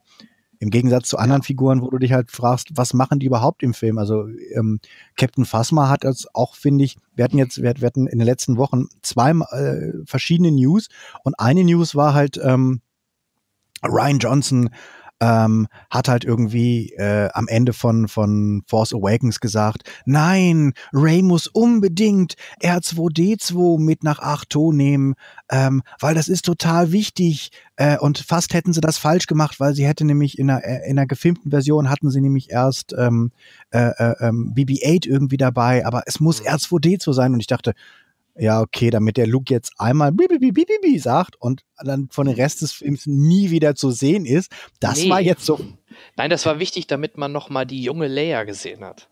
Ja, aber wow, das ist aber auch echt, also die Szene ist. Das war doch so ein bisschen Tribut, oder? Für, für Carrie Fisher auch nochmal, auch die Szene nochmal zu Da- zeigen. Also ja, aber es war so jetzt, vor. es, ja, aber es war, war jetzt nicht wirklich wichtig. Also, Nee, äh, eben, es war äh, nicht wichtig, äh, war nur das- für sie, glaube ich. Ja, aber ne, das, die wussten ja noch nicht, als sie, die wussten ja, als sie äh, Force Awakens gedreht haben, noch nicht, dass sie stirbt. Ähm, nein, äh, sorry, ähm, ich meine doch jetzt in Episode 8 war doch auch die Szene, wo R2 nochmal die junge Carrie Ja, ja, nee, das, das, das weiß ich, aber die Geschichte, also die, die, die, die Story war ja jetzt, dass ähm, Ryan Johnson erzählt hatte, er hätte J.J. Abrahams gesagt, ähm, ihr habt das die Szene jetzt mit BB-8 gedreht auf Achto, das Ende, ähm, da muss R2D2 dabei sein. Und dann hätten sie im Schnitt äh, BB-8 rausgeschnitten äh, und ihn durch digital durch R2D2 ersetzt, so. weil, weil Ryan Johnson gesagt hat, das ist total wichtig für den nächsten Film, dass R2D2 da vor Ort ist. Und wo ich gedacht habe, ja, komm, also das hätte man ja aber auch jetzt durch einen ein, ein Strich im Drehbuch hätte man jetzt das irgendwie ändern können, hätte gesagt, irgendwie R2D2 hat dir die Aufzeichnung mitgegeben oder das ja hat Ja. dir den USB-Stick. Also das war halt überhaupt nicht wichtig. Stimmt. Und was natürlich, wo ich jetzt wieder versuche, wo ich wieder das Gefühl habe, sie versuchen so einen Hype zu, zu, zu ähm, konstruieren, der eigentlich auch nicht richtig gerechtfertigt ist, ist fucking Captain Phasma. Ja. Wo, wo du denkst, das, ja. das ist beim, beim, beim, beim letzten Mal schon so, oh, Captain Phasma, einmal durch von links nach rechts durchs Bild und glänzt und einmal von rechts nach links durchs Bild und dann kommt sie in die Müllpresse. Wow, Captain Phasma. Wir hoffen, dass wir ganz viele Captain Phasma Spielzeuge verkaufen, weil die, das ist ja quasi der Goldlack, der, der, der silberlackierte Ja. Storm, Stormtrooper. Und hier in dem Film war das jetzt so wieder, das ist so wie, we try to make another Boba Fett happen. Ja, und ich hätte sie ja gern mal ohne Maske gesehen. Einmal, dass Brienne auch mal zu sehen ist. Also von Game of Thrones Fans wissen, von Ja. wem ich spreche. Ähm, schade Gwendolyn eigentlich. Christie. Gwen, Gwen, Christie. Genau, Ähm, genau. Ja, man sieht und- nur ihr Auge einmal. Und ich verstehe halt nicht, also nachdem er eh schon der ganze Ausflug von, von Finn und Rose total überflüssig ist, ähm, ist halt auch der, dieser, dieser, du denkst, die, warum, warum muss Captain Phasma jetzt nochmal auftreten und warum macht sie jetzt da so ein, ein Fez draus und warum muss ich da jetzt eine lange Exekution, wo sie extra nochmal extra Exekutionswaffen, um das Ganze, um sicher zu gehen, dass auch möglichst viel dazwischen kommen kann bei der Exekution, hole ich jetzt noch mal, mache ich das in einer umständlichen Riesenhalle, wo es irgendwie keinen Grund für gibt. Dann hole ich noch mal extra Leute mit Laseräxten, die sie enthaupten können, wo du denkst, ah, also es, es ist halt so, ich glaube, es hat beim es hat beim letzten Mal nicht funktioniert und Captain Phasma, das wird kein Ding. Das wird, die wird nicht der nächste Boba Fett. Äh, nee, auf keinen Ja, jetzt wahrscheinlich sowieso nicht mehr. Also ich kann mir nicht vorstellen, dass sie das schon wieder überlebt. Oder hast du da noch Hoffnung? Ja, weiß ich nicht. Bei Boba Fett sagen sie auch, der hat überlebt. Da hat man auch gedacht, der ist jetzt weg, nachdem er in Salak reingehupst ist und dann, nein, der ist offiziell ja wieder rausgekommen. Und du denkst, seriously, Boba Fett war nie so cool, wie ihr es alle erzählt habt. Boba Fett hat einen Auftrag gemacht, dann hat er Han Solo auf dem Silbertablett bekommen, dann hat er dann, dann, dann hat jemand gegen seine Düse gehauen und dann ist er in Salak reingefallen. Das ist der komplette Arc von fucking Boba Fett. Ja, stimmt. Ja, so ist es. ähm, deswegen, ich glaube auch noch nicht dran, dass es da wirklich einen eigenständigen Film gibt. Ich glaube, jetzt kommt ja erstmal Solo und dann vermute ich ähm, eher, dass sogar ein Obi-Wan-Film vielleicht kommt als, als ein Boba Fett. Ja, der kommt ja. Da haben sie ja gerade, das war ja, ist ja jetzt gerade, äh, heute habe ich heute oder gestern irgendwie so die Meldung, dass sie jetzt angefangen haben mit dem Dreh zum, zum äh, Obi-Wan-Film. Auch das freut mich ein bisschen. Auch gerade für Evan McGregor, den nochmal in der Rolle zu sehen. Immer ist das denn? Also ich weiß gar nicht. Also, oder warte mal, war das, war das Drehstart oder war das Produktions, also äh, Production Start? Ich will gar nicht, ich will jetzt nichts Das Falsches. kann ich dir auch nicht sagen. Also, Ich gügel mal kurz. ja, also ich vermute auch, dass zum Beispiel, wenn wir gerade beim Han Solo sind zum Beispiel, dass der nicht im April kommt. Ich kann es mir einfach nicht vorstellen, weil dann hätten sie jetzt spätestens zur Episode 8 doch jetzt mal einen Trailer rausgebracht, oder? Also, und vor allem Hm. im April kommt noch Disneys zweite große Hoffnung Infinity War. Ich kann mir nicht vorstellen, dass die die innerhalb von drei Wochen gleichzeitig starten lassen. Ich, Ich bin auch noch unsicher. Also ich, ich glaube, dass der kommt, aber, äh, dass, aber ich weiß nicht, ob sie das Datum halten. Also die sollen das wieder Weihnachten machen. Dis- Weihnachten fehlt doch eh Disney- wieder ein Star Wars dann. Also. Ja, und Disney hat doch, er kann sich doch mit Star Wars Filmen echt beschmeißen und mit, mit Blockbustern. Richtig. Ich meine, die haben ja, ich meine, sie haben ja tatsächlich einen sehr guten Track Record. Das muss man ihnen ja lassen. So kritisch ich auch das, das, das sehe, diese Marktdominanz von Disney. Aber das Problem ist tatsächlich, verglichen mit anderen äh, Studios haben sie einfach einen sehr guten Track Record, was, was gute oder zumindest sehr solide Filme angeht. Ist jetzt nicht Ja. alles ein Meisterwerk, aber sie haben weniger Scheiße, also richtig fiese Scheiße produziert als die meisten anderen großen Studios. Oh ja, oh ja. Du sag mal, warum ähm, am Ende gibt's doch diese schöne Szene mit dem ähm, Hyperantrieb einmal quer wie so ein Buttermesser durch die imperialen Schiffe oder durch die First Order Schiffe. Ja. Warum hat man das nicht vorher schon mal gemacht mit den Schiffen, die da äh, kein Benzin mehr hatten? Bevor die Benzin aus, äh, bevor das Benzin leer ist, umdrehen, Hyperantrieb rein in die Dinger. Ja, da gibt's No? einen ganz guten, äh, äh, gibt's aber eine ganz wirklich gute Erklärung für Hm. ähm, for dramaturgical purposes. Ja, okay, das war, das musste ich aber leider in dem Moment sofort denken. Warum kommt Ja. das auf die Idee? Warum? Äh, Absolut. Warum? Äh, Auch sie wollte ja eigentlich nur mit dem Schiff ablenken oder einfach nur ein bisschen weiter schippern, bis sie sie erwischen. Warum nicht auch da direkt sagen, okay, ich drehe jetzt um und mache einen auf Kamikaze? Ja, vielleicht wäre das, also vielleicht, vielleicht, weil, vielleicht wären die, wäre das, das, das äh, Medical Ship jetzt zu klein gewesen oder so. Ja, also vielleicht, dann- vielleicht wäre das, hätte das gegen hier den, Dead, gegen die Dreadlocks nichts aus, äh, war das auch ein Dreadlock eigentlich, das äh, Schiff von Snoke? Es sah Weiß irgendwie noch größer aus. Ich kann es dir gar nicht Ja. genau sagen. Das ist ja auch so oft typisch Star Wars, dass diese Bezeichnungen manchmal gar nicht im Film auftauchen, sondern erst auf dem Spielzeug. Also werden wir mal erwarten, wenn das nächste Lego-Set ist. Ich habe hier hinter mir steht mein Supersternzerstörer noch hier oben. Ähm, den neuen Millennium Falcon muss ich noch bauen, aber ja, mal gucken, vielleicht wird das dann so ein 10.000 Teile Stück oder so. So sah es jedenfalls von der Größe aus, wenn ich das nachbaue. Ähm, ja, Das- mal schauen. Warte mal, das ist, ähm, The Supremacy was a mega-class Star Destroyer that served as a flagship of Supreme Leader Snoke. Das, da war, das war ein, ein äh, mega-class Star Destroyer. Mhm. Okay, also, ja, okay. Also, schon Sternzerstörer, also aber gehört- mega klasse. Ja. Nicht super Sternzerstörer, sondern mega. Mal gucken, da kommt in Episode 9 der Giga. Powered by Vodafone. Ja, mal Oh schauen. Gott, bitte, das ist ja. Ja, also ich fand ihn insgesamt jetzt, ähm, müssen wir, glaube ich, langsam mal zum. Äh, Ich, Äh, ich würde wenigstens noch kurz über den Humor sprechen, weil ähm, gerade ähm, ich mag Dom Hall Gleason sehr gerne.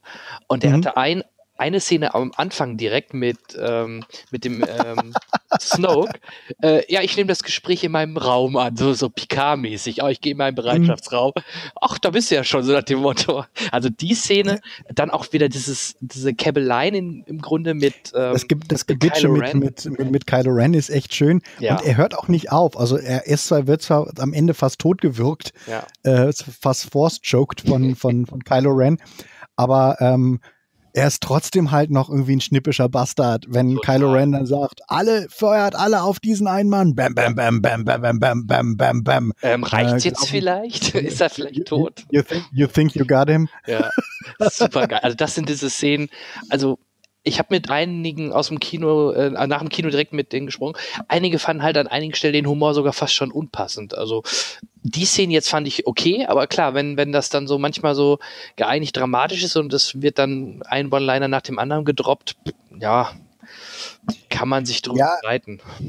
Es stimmt natürlich. Also es ist, äh, es ist- es ist schon, es gibt aber gleichzeitig, denke ich, ich fand den Humor nie, er ist nie auf das Niveau der, der ähm, Prequels runtergesackt. Oh ja, ja, stimmt. Mhm. Also äh, du hast immer Humor gehabt, du hast auch Ewok-Humor gehabt und sowas, aber ähm, ja, also es gab ja den ähm, immer Humor und es gab ja auch, sag mal, R2D2 und C3PO waren ja auch immer ja, oder zum Beispiel BB-8 die auch Comic- ne, die Com- letzten. die, Ja. die Comic, die Comic Reliefs. Ja. Ähm, aber ich fand zum Beispiel, es gab immer einen Unterschied zwischen der Art, wie R2D2 und C3PO in Character Comic Relief waren, in der Originaltrilogie und wie sie halt wirklich für üble Slapstick-Scheiße verheizt wurden in den Prequels. Ja. Also diese, ich spritz jetzt Öl und dann rutschen die Robo anderen Roboter darauf, darauf irgendwie aus oder wir fliegen durch diese komische Fabrik da und dann hat äh, C3PO plötzlich einen anderen Kopf auf. Also Oh. das fand ich halt immer, das war übler Kindergartenhumor und auch alle, alle, alle Jaja-Szenen waren übler Kindergartenhumor, Ja. während ähm, ganz viel Humor von C3PO ja quasi aus der, äh, früher aus der Würde, die er ja eigentlich als Protokolldruide hat, mit dem Konfrontieren mit Leuten, die diese Würde nicht, äh, nicht, nicht, nicht akzeptieren oder damit nicht umzugehen wissen. Ja, ja. Daraus kommt ja ganz viel, dass er quasi immer so dieser, oh, und ich möchte das und das machen oder so, Master Luke, bla bla bla bla. Und dann ist halt irgendjemand, der, der äh, kommt bei- beim Wookie nicht weiter, wenn er halt eine hilfreiche Bemerkung gegenüber dem Wookie macht und der Wookie ist, sagt halt irgendwie, ich, ich reiß dir gleich einen Arm aus im Endeffekt. Ja. Und das ist der Humor, der, der passt. Und ich hatte das Gefühl, dass der in diesem Film auch die meiste Zeit das Humor war, der den Figuren einigermaßen treu geblieben ist. Ja, fand, ich fand's auch schön. Allein die, auch die, selbst die Chewbacca-Szene mit dem Hähnchen, was er verspeisen will, und dann sind diese, diese äh, traurigen, guckenden Vögel da. Also es hat, hat Porks. Die Porks. und die Porks waren auch nicht so nervig wie vielleicht befürchtet nach dem Trailer. Dachte man, oh Gott. Fand ich auch, Ne? fand also ich auch. fand ich okay, absolut okay. So. Also, Ja, da war ich auch positiv überrascht, dass ich gedacht habe, ich habe jetzt, ich habe ja jetzt schon gedacht, oh, jetzt macht, jetzt kommt alle, alle drei Minuten kommt lustiger Pork Slapstick. Also so ein bisschen war es mir ja bei, bei ähm, Guardians of the Galaxy ein bisschen zu viel Baby Groot im zweiten Teil. Mm, ja. Und da habe ich dann gedacht, hoffentlich ist das mit den Porks nicht so, dass sie jetzt, oh, das sind die total lustigen und da kommen die alle drei Minuten vor. Und sie kamen vor, aber sie kamen halt auch nur auf Arto vor und es war halt so wie, ja, ähm, die Insel ist halt in, in, in, infested mit, mit den Dingern und wenn du die Tür nicht zumachst, kommen halt diese, so wie bei uns Straßentauben, ja. äh, kommen halt diese Scheißviecher rein. Und ja. so waren sie auch. Es war ja gar nicht mal so ein Pet Pork, dass man jetzt, dass sie jetzt versucht haben, eine emotionale Beziehung zwischen Chewie und so einem Pork herzustellen, sondern ja, er hat einfach die Tür nicht zugemacht und da sind halt scheiß Porks an Bord gekommen und die sieht man dann eben. Und das fand ich tatsächlich auf die Art und Weise ganz lustig, dass man jetzt nicht gedacht hat, oh, das ist jetzt irgendwie Blubby, unser, unser, unser Lieblingspork, sondern es war halt irgendein Pork und ja, wie zu viele Tribbles, ne, la Star ja. Trek, ja. Dachte genau, auch, genau. weil die sich überall eingenistet haben. Ja. ja. und sie sind ja niedlich, aber es war jetzt kein so ein einzelner Pork, der jetzt eine größere Rolle gespielt hat. Und auf der Ebene funktionieren die wunderbar. Ja, nee. Also deswegen, mir hat der Humor eigentlich auch ganz gut soweit gefallen in den ganzen Filmen. Und, ja, und dass Luke im Alter halt ein bisschen mehr ähm, Mark Hamill geworden ist, finde ich jetzt auch nicht schlimm. Nö. Also ich meine, der ist, der hat ja, der, der, der, der, man hat ihn jetzt wirklich halt 30 Jahre oder 35 Jahre nicht gesehen. Und dass der halt auf der Insel da jetzt nur mit diesen paar Aliens gelebt hat, ähm, ja, ich finde es okay. Er ist halt ein bisschen äh, äh, kauziger und ein bisschen äh, äh, zynischer geworden. Und er hat halt so ein bisschen Humor, wie ihn halt Mark Hamill auch hat, äh, mhm. von der ganzen, also auch also diese, die erste Trainingsszene, die ja sehr schön ist mit, mit Ray, wenn dieses Reach out und sie macht die Hände nach vorne und er puschelt ihr mit einem mit einem mit einem Blatt daran herum. Ja, das war super. Ja, das war wirklich gut. Nur die, die zum Beispiel, zum Beispiel diese Rückblickszenen ne, von, von der, von der Jedi-Akademie, die waren dann halt dafür extrem unspektakulär, wo ich halt gedacht hätte, man sieht mal ein bisschen mehr, wie, wie denn die Geschichte dort war. Ne? Das war ja wirklich im Endeffekt nur immer dieser Schnitt in, dieser, in dem Zimmer von Kylo und dann saß nachher alles brennt, so ungefähr. Mehr war das ja nicht. Und es, es, war unwesentlich mehr, als man jetzt eh schon durch ihr Flashback außer, außer aus Episode 7 wusste, ne? Ja, genau. Und es gab ja, war das die Szene, wo man diese Ritter von Ren gesehen hat oder was? Hm. Da gab es ja auch im, im ersten Trailer zu Episode 7, glaube ich, Szenen, ne? Ja. Die wurden genau. ja auch nie irgendwie groß aufgegriffen, ne? Überhaupt nicht. Nee, also diese ganze Mythologie, also ich habe auch echt das Gefühl, dass man sich versucht, ein bisschen wirklich von dieser ganzen mhm. Mythologie so ein bisschen zu verabschieden und zu sagen, ja, selbst wenn jetzt neue Jedis kommen, dann wird das halt, dann werden das so, werden das eigene neue Jedis sein, die auch eher ähm, sich wieder zurückbesinnen auf die Macht, aber jetzt nicht sagen, aber in den Journal of the Wills steht ja geschrieben genau. und Yoda genau. hat irgendwie das und das, sondern das ist, das wird mehr so eine sehr äh, pragmatische Art, wo sie, wie sie zum Schluss auch sagt, Steine ah, okay, ich nehme das jetzt mal, um die Steine weg, wegzuräumen ja. und dafür ist es dann gut und äh, für so Wahrnehmung ist es auch gut, aber ich muss da jetzt nicht so eine, so eine Religion draus. Also ich habe das Gefühl, sie versuchen so ein bisschen diesen religiösen Aspekt zurückzudrängen, was ich gar nicht so schlecht finde. Ja, ja. Nee, finde ich ja auch. Also es ist, das war auf jeden Fall auch eine Message. Ähm, Gerade weil sie ja bei Rogue One sogar noch diese, wie hießen die Wells? Ich kann mir den Namen nicht merken. Ja, also the, the, the, Guardians of the Wills. Ja, oder Wills, genau. Gerade weil sie es da ja so zum ersten Mal so ein bisschen angeteased oder so ein bisschen reingebracht haben, hätte man ja mhm. meinen können, okay, vielleicht greifen sie sowas jetzt, weil wir es jetzt etabliert haben, auch im Filmuniversum, vielleicht greifen sie was da in der Richtung in Episode 8 auf. Aber wie du schon sagtest, nö, gar nicht. Ne? Also das, das war halt das Schöne ja, und das Überraschende. Und, und, und die, sind, die, sind, die sind ja eigentlich etabliert, also die sind ja schon seit, seit der ersten Romanversion ähm, ähm, von, von Alan Dean Forster gibt's ja die, das Journal of the Wills. Da gibt's ja immer so ganz schon, ja. schon Zitate aus diesem Journal of the Wills. Ähm, und deswegen ist das ja für ganz viele so ein, oh, ganz, ganz, ganz heiliges Lore. Und deswegen sind die Leute auch ausgerastet, als sie im Trailer gesehen haben, oh Gott, man sieht irgendwie so ein Buch, der, der, der, der, so, das sind ja bestimmt die, die, die das Journal of the Wills. In diesem, in diesem Schrei, in diesem, in diesem sehr fakig aussehenden äh, Baumstamm, der wirklich aussieht wie aus einem Vergnügungspark.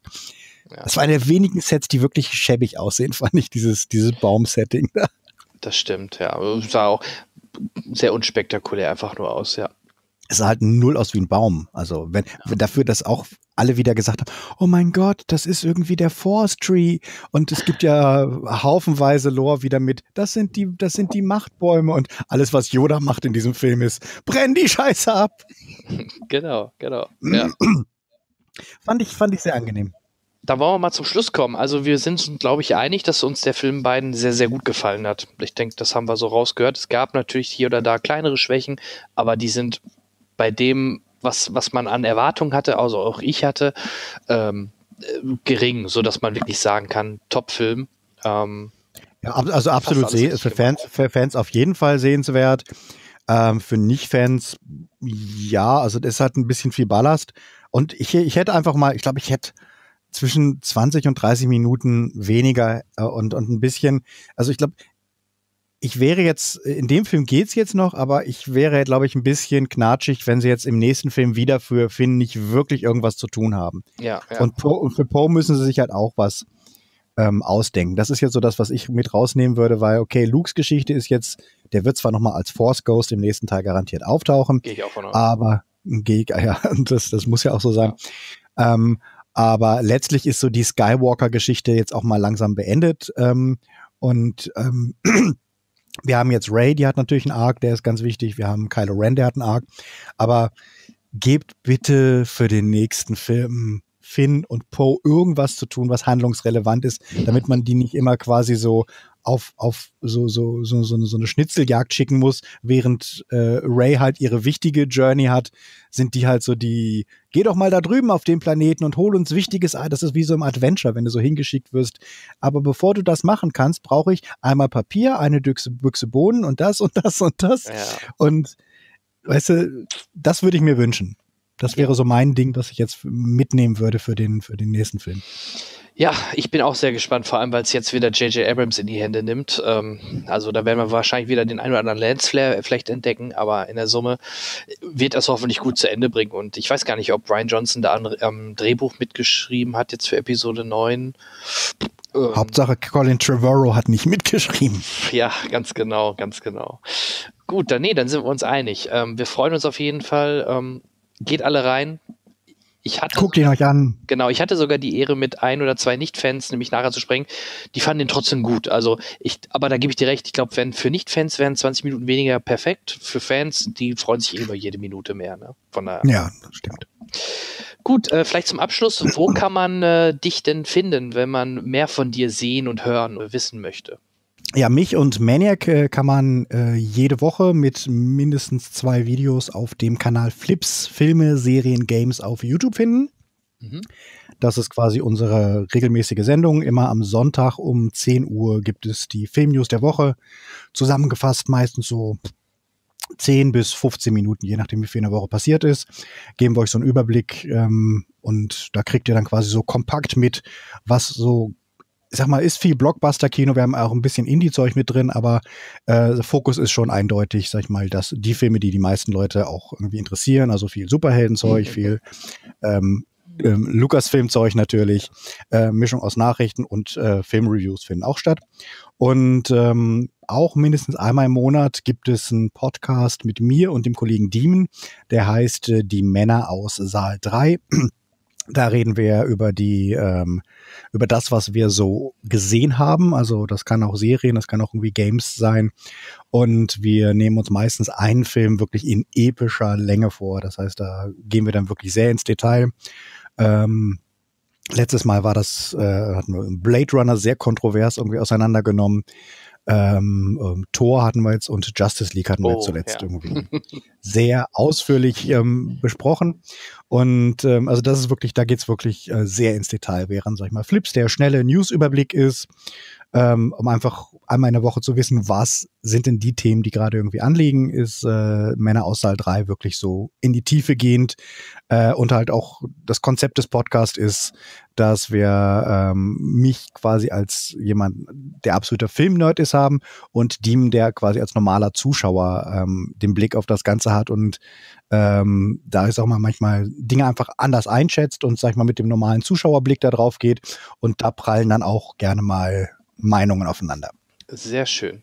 Ähm, ja, wir werden euch das Ganze auch verlinken. Ähm, wir bringen ja die Podcast-Folge sowohl bei YouTube als auch über einen Podcatcher raus und bei iTunes. Ähm, ihr werdet die Möglichkeit haben, auch über unsere Webseite dann auch auf die Links zu stoßen. Ja, dann danke ich dir schon mal, lieber Oliver. Das hat mir sehr viel Spaß gemacht, direkt so auch kurz nach dem Film quasi, nur ein paar Stunden danach, direkt schon drüber zu sprechen. Und äh, ja, es macht halt auch, ne, allein wenn man allein über diesen Film jetzt so spricht, macht es schon wieder Spaß und man würde vor allem auch viele Szenen nochmal sehen wollen. Aber das ja, werde ich wahrscheinlich absolut. sowieso nochmal machen. Na gut, dann wünsche ich auch ich äh, euch ähm, ganz viel Spaß beim Star Wars gucken und vielleicht schaut ihr mal bei mir rein bei Flips und bei Maniac. Genau, das machen wir. Ansonsten, wir hören uns im spätestens Anfang Januar wieder zum Jahresrückblick, Jahrescharts. Ähm, ansonsten wünschen wir euch frohe Weihnachten und einen guten Rutsch. Und ja, in diesem Sinne, bis dann. Tschüss. Tschüss. Hallo, ihr lieben Cinecaster. Hier ist Maxe, aka Rockstar. Und äh, ja, Episode 8 ist heute großes Thema, glaube ich, in fast allen Podcasts von Leuten, die sich irgendwie mit Film und oder Nerdkultur auseinandersetzen. Ähm, ich habe auch eben schon eine ewig lange Rezension bei uns im Autokino drüber gehalten, werde aber hier nochmal versuchen, meine Kurzfassung runterzubrechen. Ich muss dabei wahrscheinlich nicht auf die Geschichte eingehen, deswegen spare ich mir diesen Teil auch einfach und äh, gehe direkt zu meinem Urteil über. Ähm, ich war großer Episode 7-Fan. Ich habe den sehr, sehr, sehr, sehr gemocht. Ähm, ich mochte das Casting, ich mochte, wie mit neuen Charakteren umgegangen wird. Ich fand, dass die alten Charaktere, also Han Solo und sowas, natürlich schön war, dass sie da waren. Das war viel Fanservice. Hätte es an mancher Ecke aber schon gar nicht mehr gebraucht. Episode 8 macht da vieles anders, weil Episode 8 auf der einen Seite natürlich die Story weiterentwickelt und emanzipiert. Sie wirkt so, weicht so ein bisschen von dem Weg ab, den man mit Episode 7 vermutet hat. Das mag ich schon mal sehr, sehr, sehr daran. Ich mag die ganzen neuen Figuren. Ich liebe von General Hux, sehr, sogar über die blöde Phasma, die nur kurz auftaucht, über Kylo Ren, den ich vergöttere, bis hin zu ähm, Ray und Finn, die einfach so viele Facetten haben, liebe ich so viel daran. Und ich liebe auch, wie man Prinzessin Leia und Luke Skywalker in diesen Film eingebunden hat. Wie die, wie die dargestellt werden, wie viel Zeit die eingeräumt kriegen, wie großartig die beiden spielen, mit wie viel Bock die beiden nochmal vor der Kamera stehen. Ähm, und äh, jeder Blick von Prinzessin Leia macht den Tod von Carrie Fisher nur noch schlimmer und tragischer, weil einem einfach klar wird, dass diese wunderbare Frau einfach ähm, nicht mehr nicht nur unter den zweit, sondern dass sie auch einfach nicht in Episode 9 dabei sein wird. Und das ist auf alles einfach in sich grauenvoll. Gleichzeitig ist es so das beste Abschiedsgeschenk, was ein Mensch äh, uns machen kann, sich nochmal so zu präsentieren. Ähm, es ist anbetungswürdig, was da abgeliefert wird. Ähm, ich feiere sie, ich feiere ihn, ich feiere die Story, ich feiere den Werdegang der Story. Ich feiere, dass auf so vieles geschissen wird, ähm, dass einfach Sachen so banal erklärt werden. Ich, ich finde es geil, was der Film bricht, was der Film macht, dass er sich was traut, dass er trotzdem auch klassisch ist, ähm, dass er weiß, wie man mit ähm, Humor, einer guten Storyline äh, in Kombination irgendwie zu arbeiten hat. Äh, nicht zu viel, nicht zu wenig.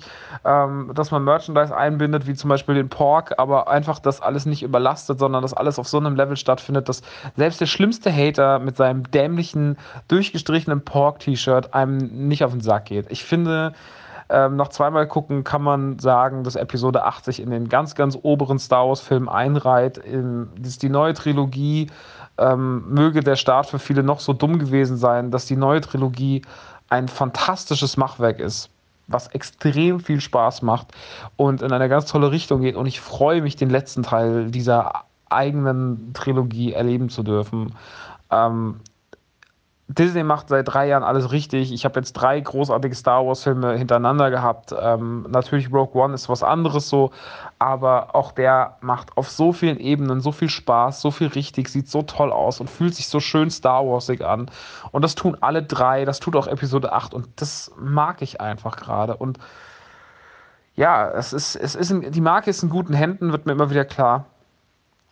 Ähm, ich habe mit dem Ganzen einfach Spaß. Ich bin da vielleicht auch nicht so streng wie andere. Ich muss da nicht immer den Fehler im Detail suchen. Natürlich gibt es auch Sachen, die deplatziert sind, Kleinigkeiten. Es gibt Figuren, die vielleicht in ihrer Storyline ein bisschen zu kurz kommen. Wir können jetzt sehr, sehr lange darüber analysieren, was, wie und wo. Das werden die Jungs aber wahrscheinlich eh schon tun. Deswegen will ich einfach nur meinen Gesamteindruck nach zweimal Star Schauen an einem Tag heute äh, kundtun. Und das ist einfach mega. Ich liebe diesen Film. Ich äh, finde, er ist noch eine Steigerung zu Episode 7, den ich schon sehr, sehr, sehr, sehr mochte, wie gesagt. Und ähm, ich habe keine Zweifel mehr an irgendwas, was diese Filmreihe angeht, sondern bin froh und stolz, dass ich das alles live im Kino miterleben darf, was da gerade an Geschichte geschrieben wird. Episode 8, äh, absolute Empfehlung, das absolute Kino-Highlight 2017. Ähm, kommt natürlich, das Beste kommt zum Schluss und das haben sie umgesetzt und äh, jetzt kann ich äh, völlig beruhigt in meine Weihnachtsferien gehen. Aber ich muss den Film bis dahin noch dreimal gucken, weil noch drei Veranstaltungen anstehen, wo ich anwesend sein muss und muss ihn sehen. Aber es gibt nichts Besseres, als zu sagen, hey, ich habe diesen Film noch äh, fünfmal in der ersten Woche gesehen, weil er einfach auch fünfmal in einer Woche gesehen werden kann. Das ist einfach würdig. Nun gut, Liebe Grüße an alle und äh, bis bald. Ich war der Maxe von Radio Nugula im Autokino Rumble Pack, äh, Nerdy Turdy Gang, Rockstar Rapper äh, äh und anderen tollen Sachen. Choking Hazard, was weiß ich. Tschüss.